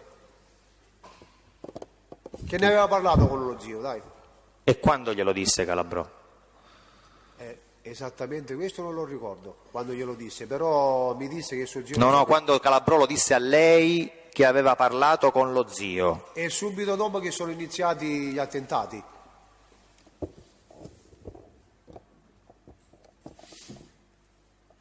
Quindi subito dopo il primo attentato, subito dopo il primo e il secondo, quando? Non ricordo esattamente, non voglio sbagliare. Però mi ricordo quello che mi disse Calabrò. Quindi Calabrò le rivelò che suo zio sapeva. Sì, sì. Le rivelò che cosa sapeva e che ruolo avesse. No, assolutamente no. Mi disse solamente che, che mio zio lo, lo sa Che lo zio lo sa. e basta. Poi non parlò di niente anche perché ho visto che diciamo che Calabrò era pure impaurito eh, quando mi diceva qualcosa. Sì, sì. Era molto spaventato. Senta Villani, lei il 4 giugno del 2013, Sì, ascoltato da me, dice che il Calabrò parlò in sua presenza, in presenza di Villani Consolato, allo zio dell'attentato ai danni dei carabinieri sì. È- e che il Filippone, udito questo, si era molto compiaciuto di questa azione. Sì, allora, come l'ho detto prima, io sono rimasto un passo indietro. Allora, Calabro e Rocco Filippone sono rimasti più avanti. Calabro sicuramente gli, stava- gli ha detto a, a Rocco Filippone quello che stava avvenendo. Perché e Rocco Filippone, sentendo le cose che stava dicendo suo nipote, mi guardò e fece un gesto tipo di compiacimento, tipo mi fece capire un, tipo un uh, sì, sì, Quel gesto di cui ci parlava prima. sì, Quindi lei percepisce il discorso che avviene quel giorno tra Calabrò Giuseppe e lo zio Filippone Rocco? Ne percepisce solo un pezzo? Percepisce solo qualche parola? lo percepisco in grande che Calabro gli sta indicando il suo compagno di, delle cose che stanno accadendo. Quindi che sta indicando lei come colui il quale lo sta affiancando in quelle azioni? Sì, Sì. Ora, visto che lei conosceva molto bene Calabrò, ce lo ha spiegato più volte, sì, ma Calabrò, e gliel'ho chiesto già in varie occasioni, non era un uomo di 'ndrangheta. assolutamente no. No.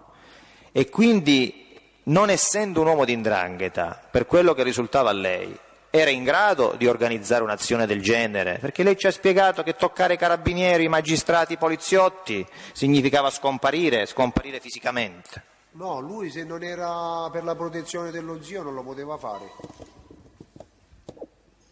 Assolutamente. Veniva calato nella- nell'acido. Anche- come la stessa cosa doveva avvenire a me, se era, se era stato così. Guardi, c'è un particolare, dottore, non so se lei si ricorda. Vincenzo Ficara, Devi figare la tella. Ficara Latella, disse che deve prendere a quelli che hanno fatto gli attentati ai carabinieri e li deve impiccare in un palo a Piazza Fontana. disse Vincenzo Ficara. Vincenzo Ficara non è che stiamo parlando dell'ultimo arrivato, diciamo, in seno E all'andata. a chi lo disse? Lo diceva ai suoi affiliati e qualche affiliato suo, suo ce lo fece sapere. Perché l'attentato era avvenuto nel, nel suo locale di 'ndrangheta. Due attentati. Due attentati, eh. Sì, e quindi, ma questo non si verificò. Anzi, le dirò che Mm. con Vincenzo Figara c'era un rispetto particolare, addirittura, dopo. Anche perché Vincenzo Figara era latitante e commetteva i suoi, i suoi reati da latitante, quindi se avrebbe voluto farmi un qualcosa, Mm. me l'avrebbe fatto. E Vincenzo Figara non è che era di poche parole, Mm. Vincenzo Figara E invece, dice lei, non solo non consumò nulla ai vostri danni, assolutamente. ma cambiò anche il rapporto a vostro favore. Assolutamente sì, Eh, E questo voglio dire sulla base di che cosa? Eh, ma sulla base che quando morì possiamo suo dire. padre ci fu un'occasione che morì il, gioel- il gioel- eh, il gioielliere, suo padre Giovanni Ficara. Sì. E io andai al funerale e Vincenzo Ficara venne portato. Io ho visto un gruppo di persone ferme fuori. C'era Fortunato Martino, c'erano altri affiliati della Cosca, no? Sì. E mi rivolgei a uno di loro, gli dissi: Ma Vincenzo l'hanno portato, lo portano? Dice: Sta per arrivare. E effettivamente da lì a mezz'oretta è arrivato. È entrato dentro, c'era il padre che era morto, è stato un po' dentro con i familiari, poi a un certo punto sono entrate le persone per salutarlo.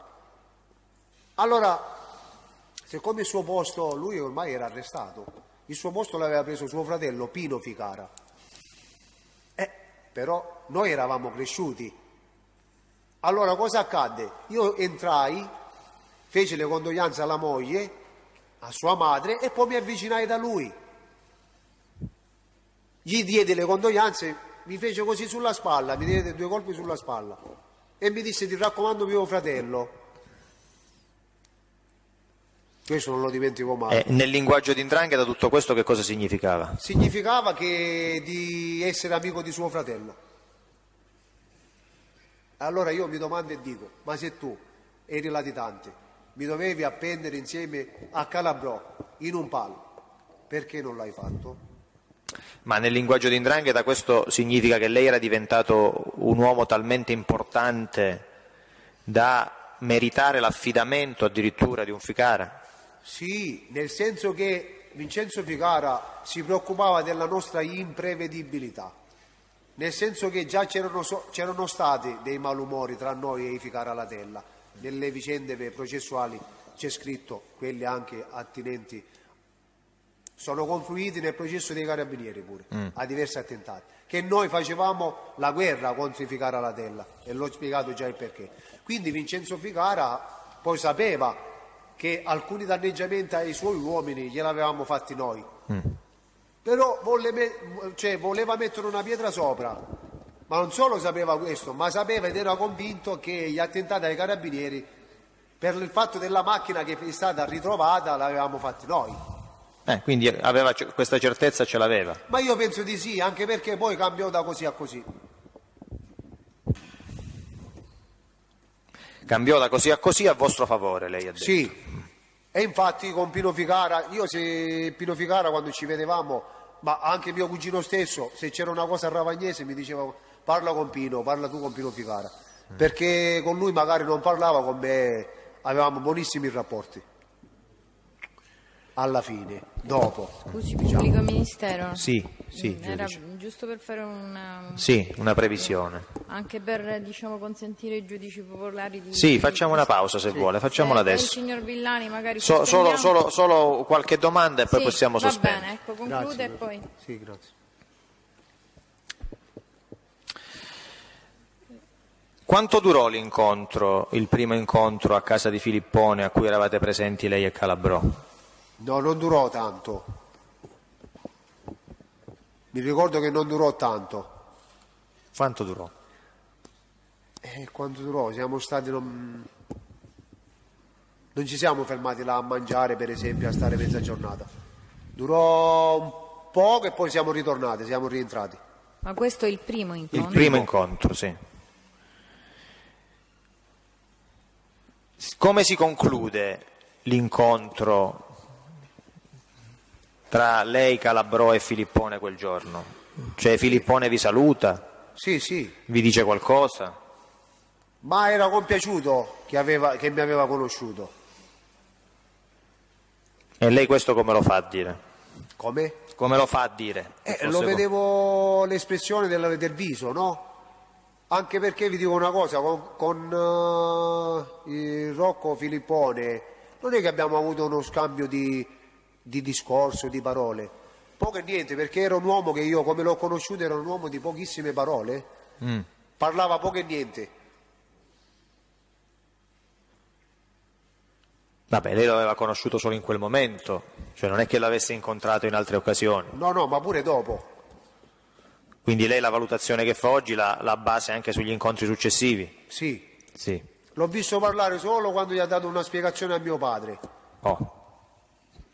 Ma sulla base di quello che lei ha percepito quel giorno, sulla base di quello che le ha detto Calabrò Giuseppe prima e dopo quegli episodi, Villani, noi dobbiamo capire una cosa. Chi aveva deliberato quelle azioni delittuose che lei e Calabrò avete eseguito?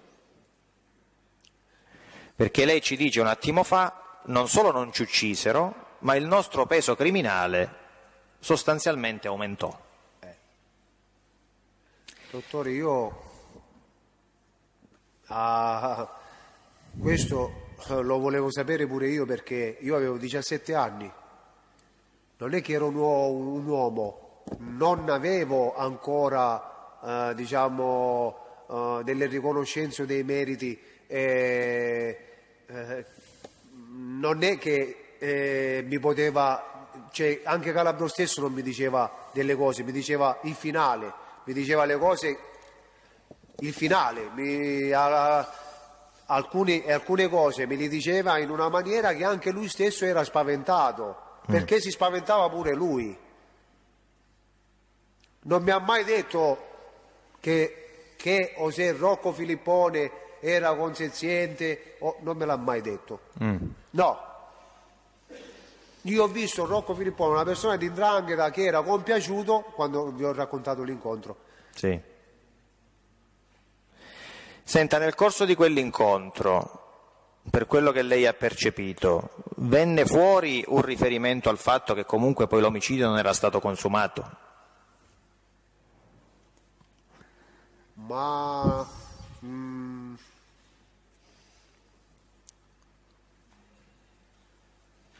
no, questo non, non me lo ricordo in questo momento.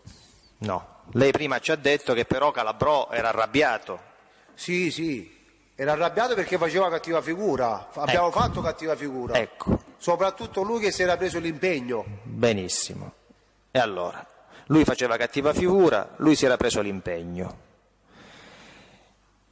Quindi io vorrei capire, e per questo insisto, dopo quanto tempo rispetto al fallimento del primo episodio voi andate a casa di Filippone? Ma dopo quanto tempo se non... sa- Ma dopo un mesetto, dopo, dopo un mesetto, dopo, non ricordo esattamente dopo quanto, dottore, non ricordo esattamente dopo. Comunque la situazione ancora era calda, voglio dire, non è che era... Non ricordo esattamente. Quindi lei dice dopo il primo episodio, certamente prima del secondo, Sì, ci rechiamo a fare questa visita. sì. Senta, io le faccio eh, una domanda molto chiara perché ho un verbale davanti e quindi... Ma nel corso poi della frequentazione che lei ha avuto anche dopo il primo episodio, perché c'è stato il secondo e il terzo, e il rapporto che lei ha mantenuto con Calabrò è andato anche oltre. Sì, Lei è in grado di dirci oggi, alla luce di tutto quello che lei ha vissuto in relazione a quel periodo e a quegli attentati, se Calabrò avesse il peso criminale di autodeliberare, come se Calabrò? avesse il peso criminale di deliberare da solo, di decidere da solo, Assolutamente no. No. E come faceva? No. Mi faceva ammazzare pure a me, benissimo. in modo più assoluto E tra i riferimenti di indrangheta che Calabrò aveva, lei è in grado di dirci chi aveva il peso criminale di deliberare quegli omicidi? Ma eh, lui con i contatti suoi che aveva eh, sicuramente allora lui non li poteva deliberare, il padre non li poteva deliberare. Eh, Ndrangheta da Calabrò era lo zio, Rocco Santo da Filippone era Ndrangheta da Calabrò, oppure quando era con Ilatella, Ilatella in quel, in quel momento, ma in quel momento non era con Ilatella, era con noi, cioè con noi, era, in questa fase era, diciamo, si era schierato contro Ilatella E quindi? e quindi le persone, quelli rimangono, che possono eh, dare un, eh, un consenso o una... Quelle rimangono, quelle rimangono e più di una. Ma, eh, o lo zio, o- ma lui aveva anche contatti con un'altra persona comunque, eh? con eh, Mimmo lo giudice. eh? Anche Mimmo lo giudice era molto legato a lui, eh? di, di, di Sant'Antonio, sì. Mm. E chi è questo Mimmolo Giudice? Mimmo, Le Giu- Mimmo lo giudice un per- era un personaggio di spicco della Cosca Libri. Lui rappresentava il locale per i libri di Sant'Antonio di Reggio, Con- di Reggio Campi. Ma questo si chiamava proprio Mimmo, Domenico? Domeni- Demetrio, se non mi sbaglio. Demetrio si chiamava. Se non mi sbaglio. Quindi lei dice per quelli che erano i rapporti che aveva Calabrò erano o lo zio o questo Demetrio lo giudice. Le Questa la persone che erano in vista, diciamo che avevano un ruolo, un ruolo di indrangheta, erano, erano loro, diciamo, Erano vicini loro. a Calabrò. Oh. Allora, domanda secca, Villani, Sì, per quello che lei ha vissuto in quel periodo, per tutto diciamo, quello che è avvenuto in relazione agli attentati dei carabinieri, lei è in grado di dire se Filippone Rocco Santo ha autorizzato Calabrò Giuseppe a uccidere i carabinieri tra il dicembre 93 e il febbraio 94? No, no, non sono in grado di dirlo. E perché il 4 giugno del 2013 lei dice sono certo che fu Filippone Rocco Santo a uccidere, a autorizzare questi attentati ai carabinieri? Allora, eh, questo, questo non, non- riesco a dirlo esattamente, che, che- che- cioè, sono delle cose che mi hanno fatto pensare Ecco, che, allo- sia, che sia stato lui. ecco, Voglio precisare questo. ecco. E allora precisi. Perché? Allora, siamo andati, diciamo, da lui dopo che c'è stato il primo attentato. Sì, Non ci toccava nessuno. Abbiamo reperito delle armi da- dal figlio di Rocco Santo Filipponi. E lui aveva un collegamento diretto con Itegano, De Stefano, Libri, a Reggio, tramite suo compare Mercurio e, e ogni volta che mandava un'imbasciata in qualche posto eh, si fermava tutto. In più era molto voluto bene da suo nipote Calabro Giuseppe, era molto legato a lui. E la cosa che mi fa pensare che è possibile che sia stato lui ad autorizzare questi eventi è il fatto che Calabrò, quando ha collaborato con la giustizia, a suo zio non l'ha mai nominato in, in questo, in questo modo, non ha mai detto, non ha mai specificato tante cose, ha cercato sempre di riservarlo. Perché? Per quale motivo? Lui, diciamo, ha nominato anche a volte persone che poi si vedrà, ma una serie di cose che mi facevano pensare e che mi fanno pensare che l'autorizzazione sia potuta partire da Rocco Filippone per il peso che Rocco Filippone aveva, i contatti. E poi si, si è aggiunto, poi in un secondo momento si sono aggiunte anche le riunioni fatte nella, nella piana dove eh, eh, diciamo, eh, erano presenti eh, personaggi eh, dei Piromalli, c'erano i De Stefano, c'erano eh, gente di Cosa Nostra, perché riunione non è che ne è stata fatta una per quello che mi è stato detto, eh. ne sono state fatte più di una, prima e dopo che sono avvenute determinate cose. Quindi Villani, lei fa un'affermazione utilizzando il termine autorizzazione Sì, non perché Calabrò parlando con lei si esprime in questi termini, no, ma sulla base di tutta una serie di circostanze che lei ha vissuto insieme a Calabrò. Abbiamo capito bene? assolutamente sì. Sì. E queste circostanze sono principalmente connesse, mi corregga se sbaglio, a quell'incontro lì a casa del Filippone, Sì, a quel gesto che lei ci ha indicato, sì, al compiacimento di Filippone sì.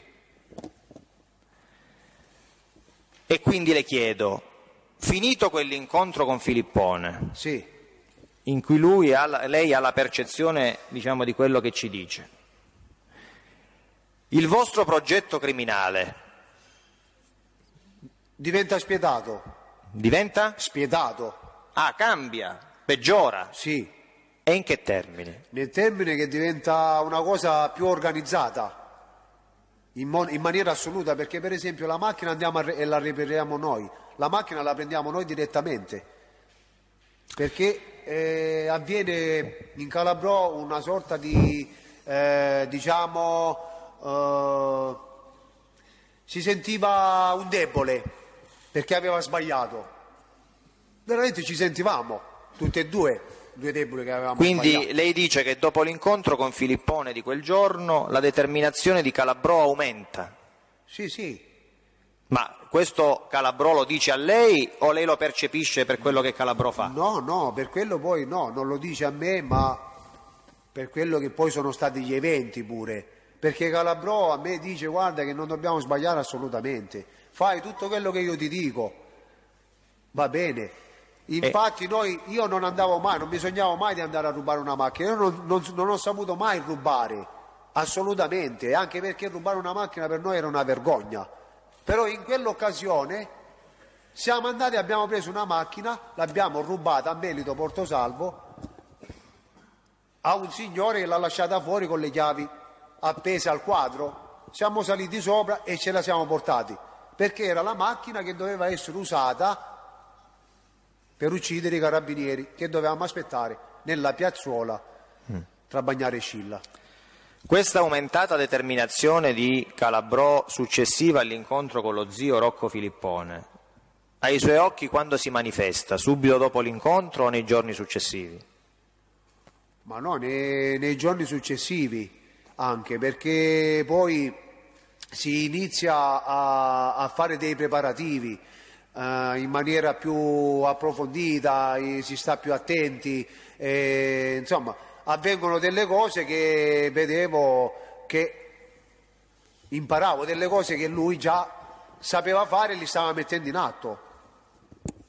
Quindi i preparativi relativi poi al secondo agguato, che è quello mortale, sono condotti in maniera più attenta, più scrupolosa rispetto al primo?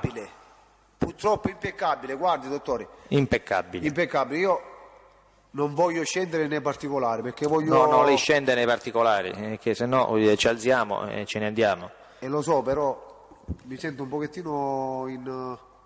eh, eh, eh, perché i carabinieri quando noi il programma che avevamo per i due carabinieri defunti non era proprio quello. Noi Cioè? praticamente i carabinieri dopo che li abbiamo uccisi li dovevamo buttare di sotto, li dovevamo prendere dalla macchina e buttarli sotto il guardrail dell'autostrada. Insomma, ho visto Quindi che non, in non Calabro- bisognava, non bisognava soltanto diciamo, colpirli a morte con le no, armi. bisognava fare ancora di più, E perché? perché Calabroa aveva detto che dobbiamo essere molto, ma molto più spietati, quello che non siamo stati prima. E questo termine che Calabrò utilizza, essere molto più spietati, non lo aveva mai usato prima dell'incontro con lo zio? No, prima dell'incontro con lo zio lui era convinto che delle cose che si dovevano fare, che si dovevano colpire i carabinieri, si dovevano colpire i militari, che ma un altro poco sta- stavamo- forse era stato meglio, stavamo perdendo la vita noi, ma forse era stato meglio. Non aveva quella, non lo so, c'era un qualcosa che si esitò, si esitò grazie a Dio. Nella prima salvato. occasione. Sì. Lei dice aumenta la, determina- la determinazione di Calabrò, Calabrò mi dice dobbiamo essere spietati e programmiamo tutto nel dettaglio. Sì, È così? Assolutamente sì, ma poi ci saranno pure delle altre cose che io... Mi perdoni Villani, aspetti. Sì, sì, sì, scusi. Nel viaggio di ritorno da Melicucco a Reggio Calabria, dopo il primo incontro con Filippone Roccosanto, mi segue? Sì, Lei e Calabrò parlate? sì, sì, parliamo nel senso che un punto di ammirazione per quest'uomo che io ho ammalato di indrangheta, lui è ammalato di indrangheta, stiamo parlando di un uomo che, diciamo, che dà un esempio di indrangheta di alto livello. Quindi nel viaggio di ritorno da Melicucco lei e Calabrò parlate di Filippone Roccosanto come un uomo di indrangheta di cui avete forte ammirazione. Sì, sì, diciamo che sì, E nel viaggio d'andata, voglio dire, questo discorso era stato pure fatto, Calabrò non le aveva detto dove andavate. No, no, me l'aveva detto. Andiamo a trovare mio zio. È quello il momento, quindi il viaggio di ritorno, in cui lei percepisce che aumenta la determinazione e si parla di essere spietati? L'ho visto più sicuro a Calabroio. Nel senso che era molto più sicuro, anche perché lui si faceva trascinare da quest'area di indrangheta, anche. Quindi lo- lei lo vede immediatamente più sicuro. Sì, sì, lo vidi più sicuro, tipo che aveva una protezione, una cosa del genere, sì. Siamo, andiamo liberi, non lo so, in senso così. I preparativi del secondo agguato iniziano subito. I preparativi del secondo agguato iniziano dopo un po' di giorni. Perché avete necessità, lei ha detto di rubare una macchina. Sì, ma come ho detto già prima, la macchina la dovevamo prendere noi. Non potevamo fidarci. Ma io gli dicevo, ma non possiamo pagare 200-300 mila lire e, e- e ce la facciamo portare? No. Poi lo sanno. No, va bene. Va bene, Presidente, se le ritieni ci fermiamo qui al, al furto della... Come ci della- vogliamo organizzare? A che ora riprendiamo? Quanto tempo? Eh, ci dica lei, Sono le 2.10. possiamo fare 3 meno un quarto, 3 meno Sì, 10? massimi una mezz'oretta io Va direi. bene. 3 meno 20 ci vediamo. Va Sì, bene? Presidente, mi scusi. Presidente, mi autorizza a stare al telefono 10 minuti col signor Graviano? Sì, possiamo mantenere il collegamento 10 minuti? Sì, per 10 minuti avvocato, non di più. Va bene, bene? grazie.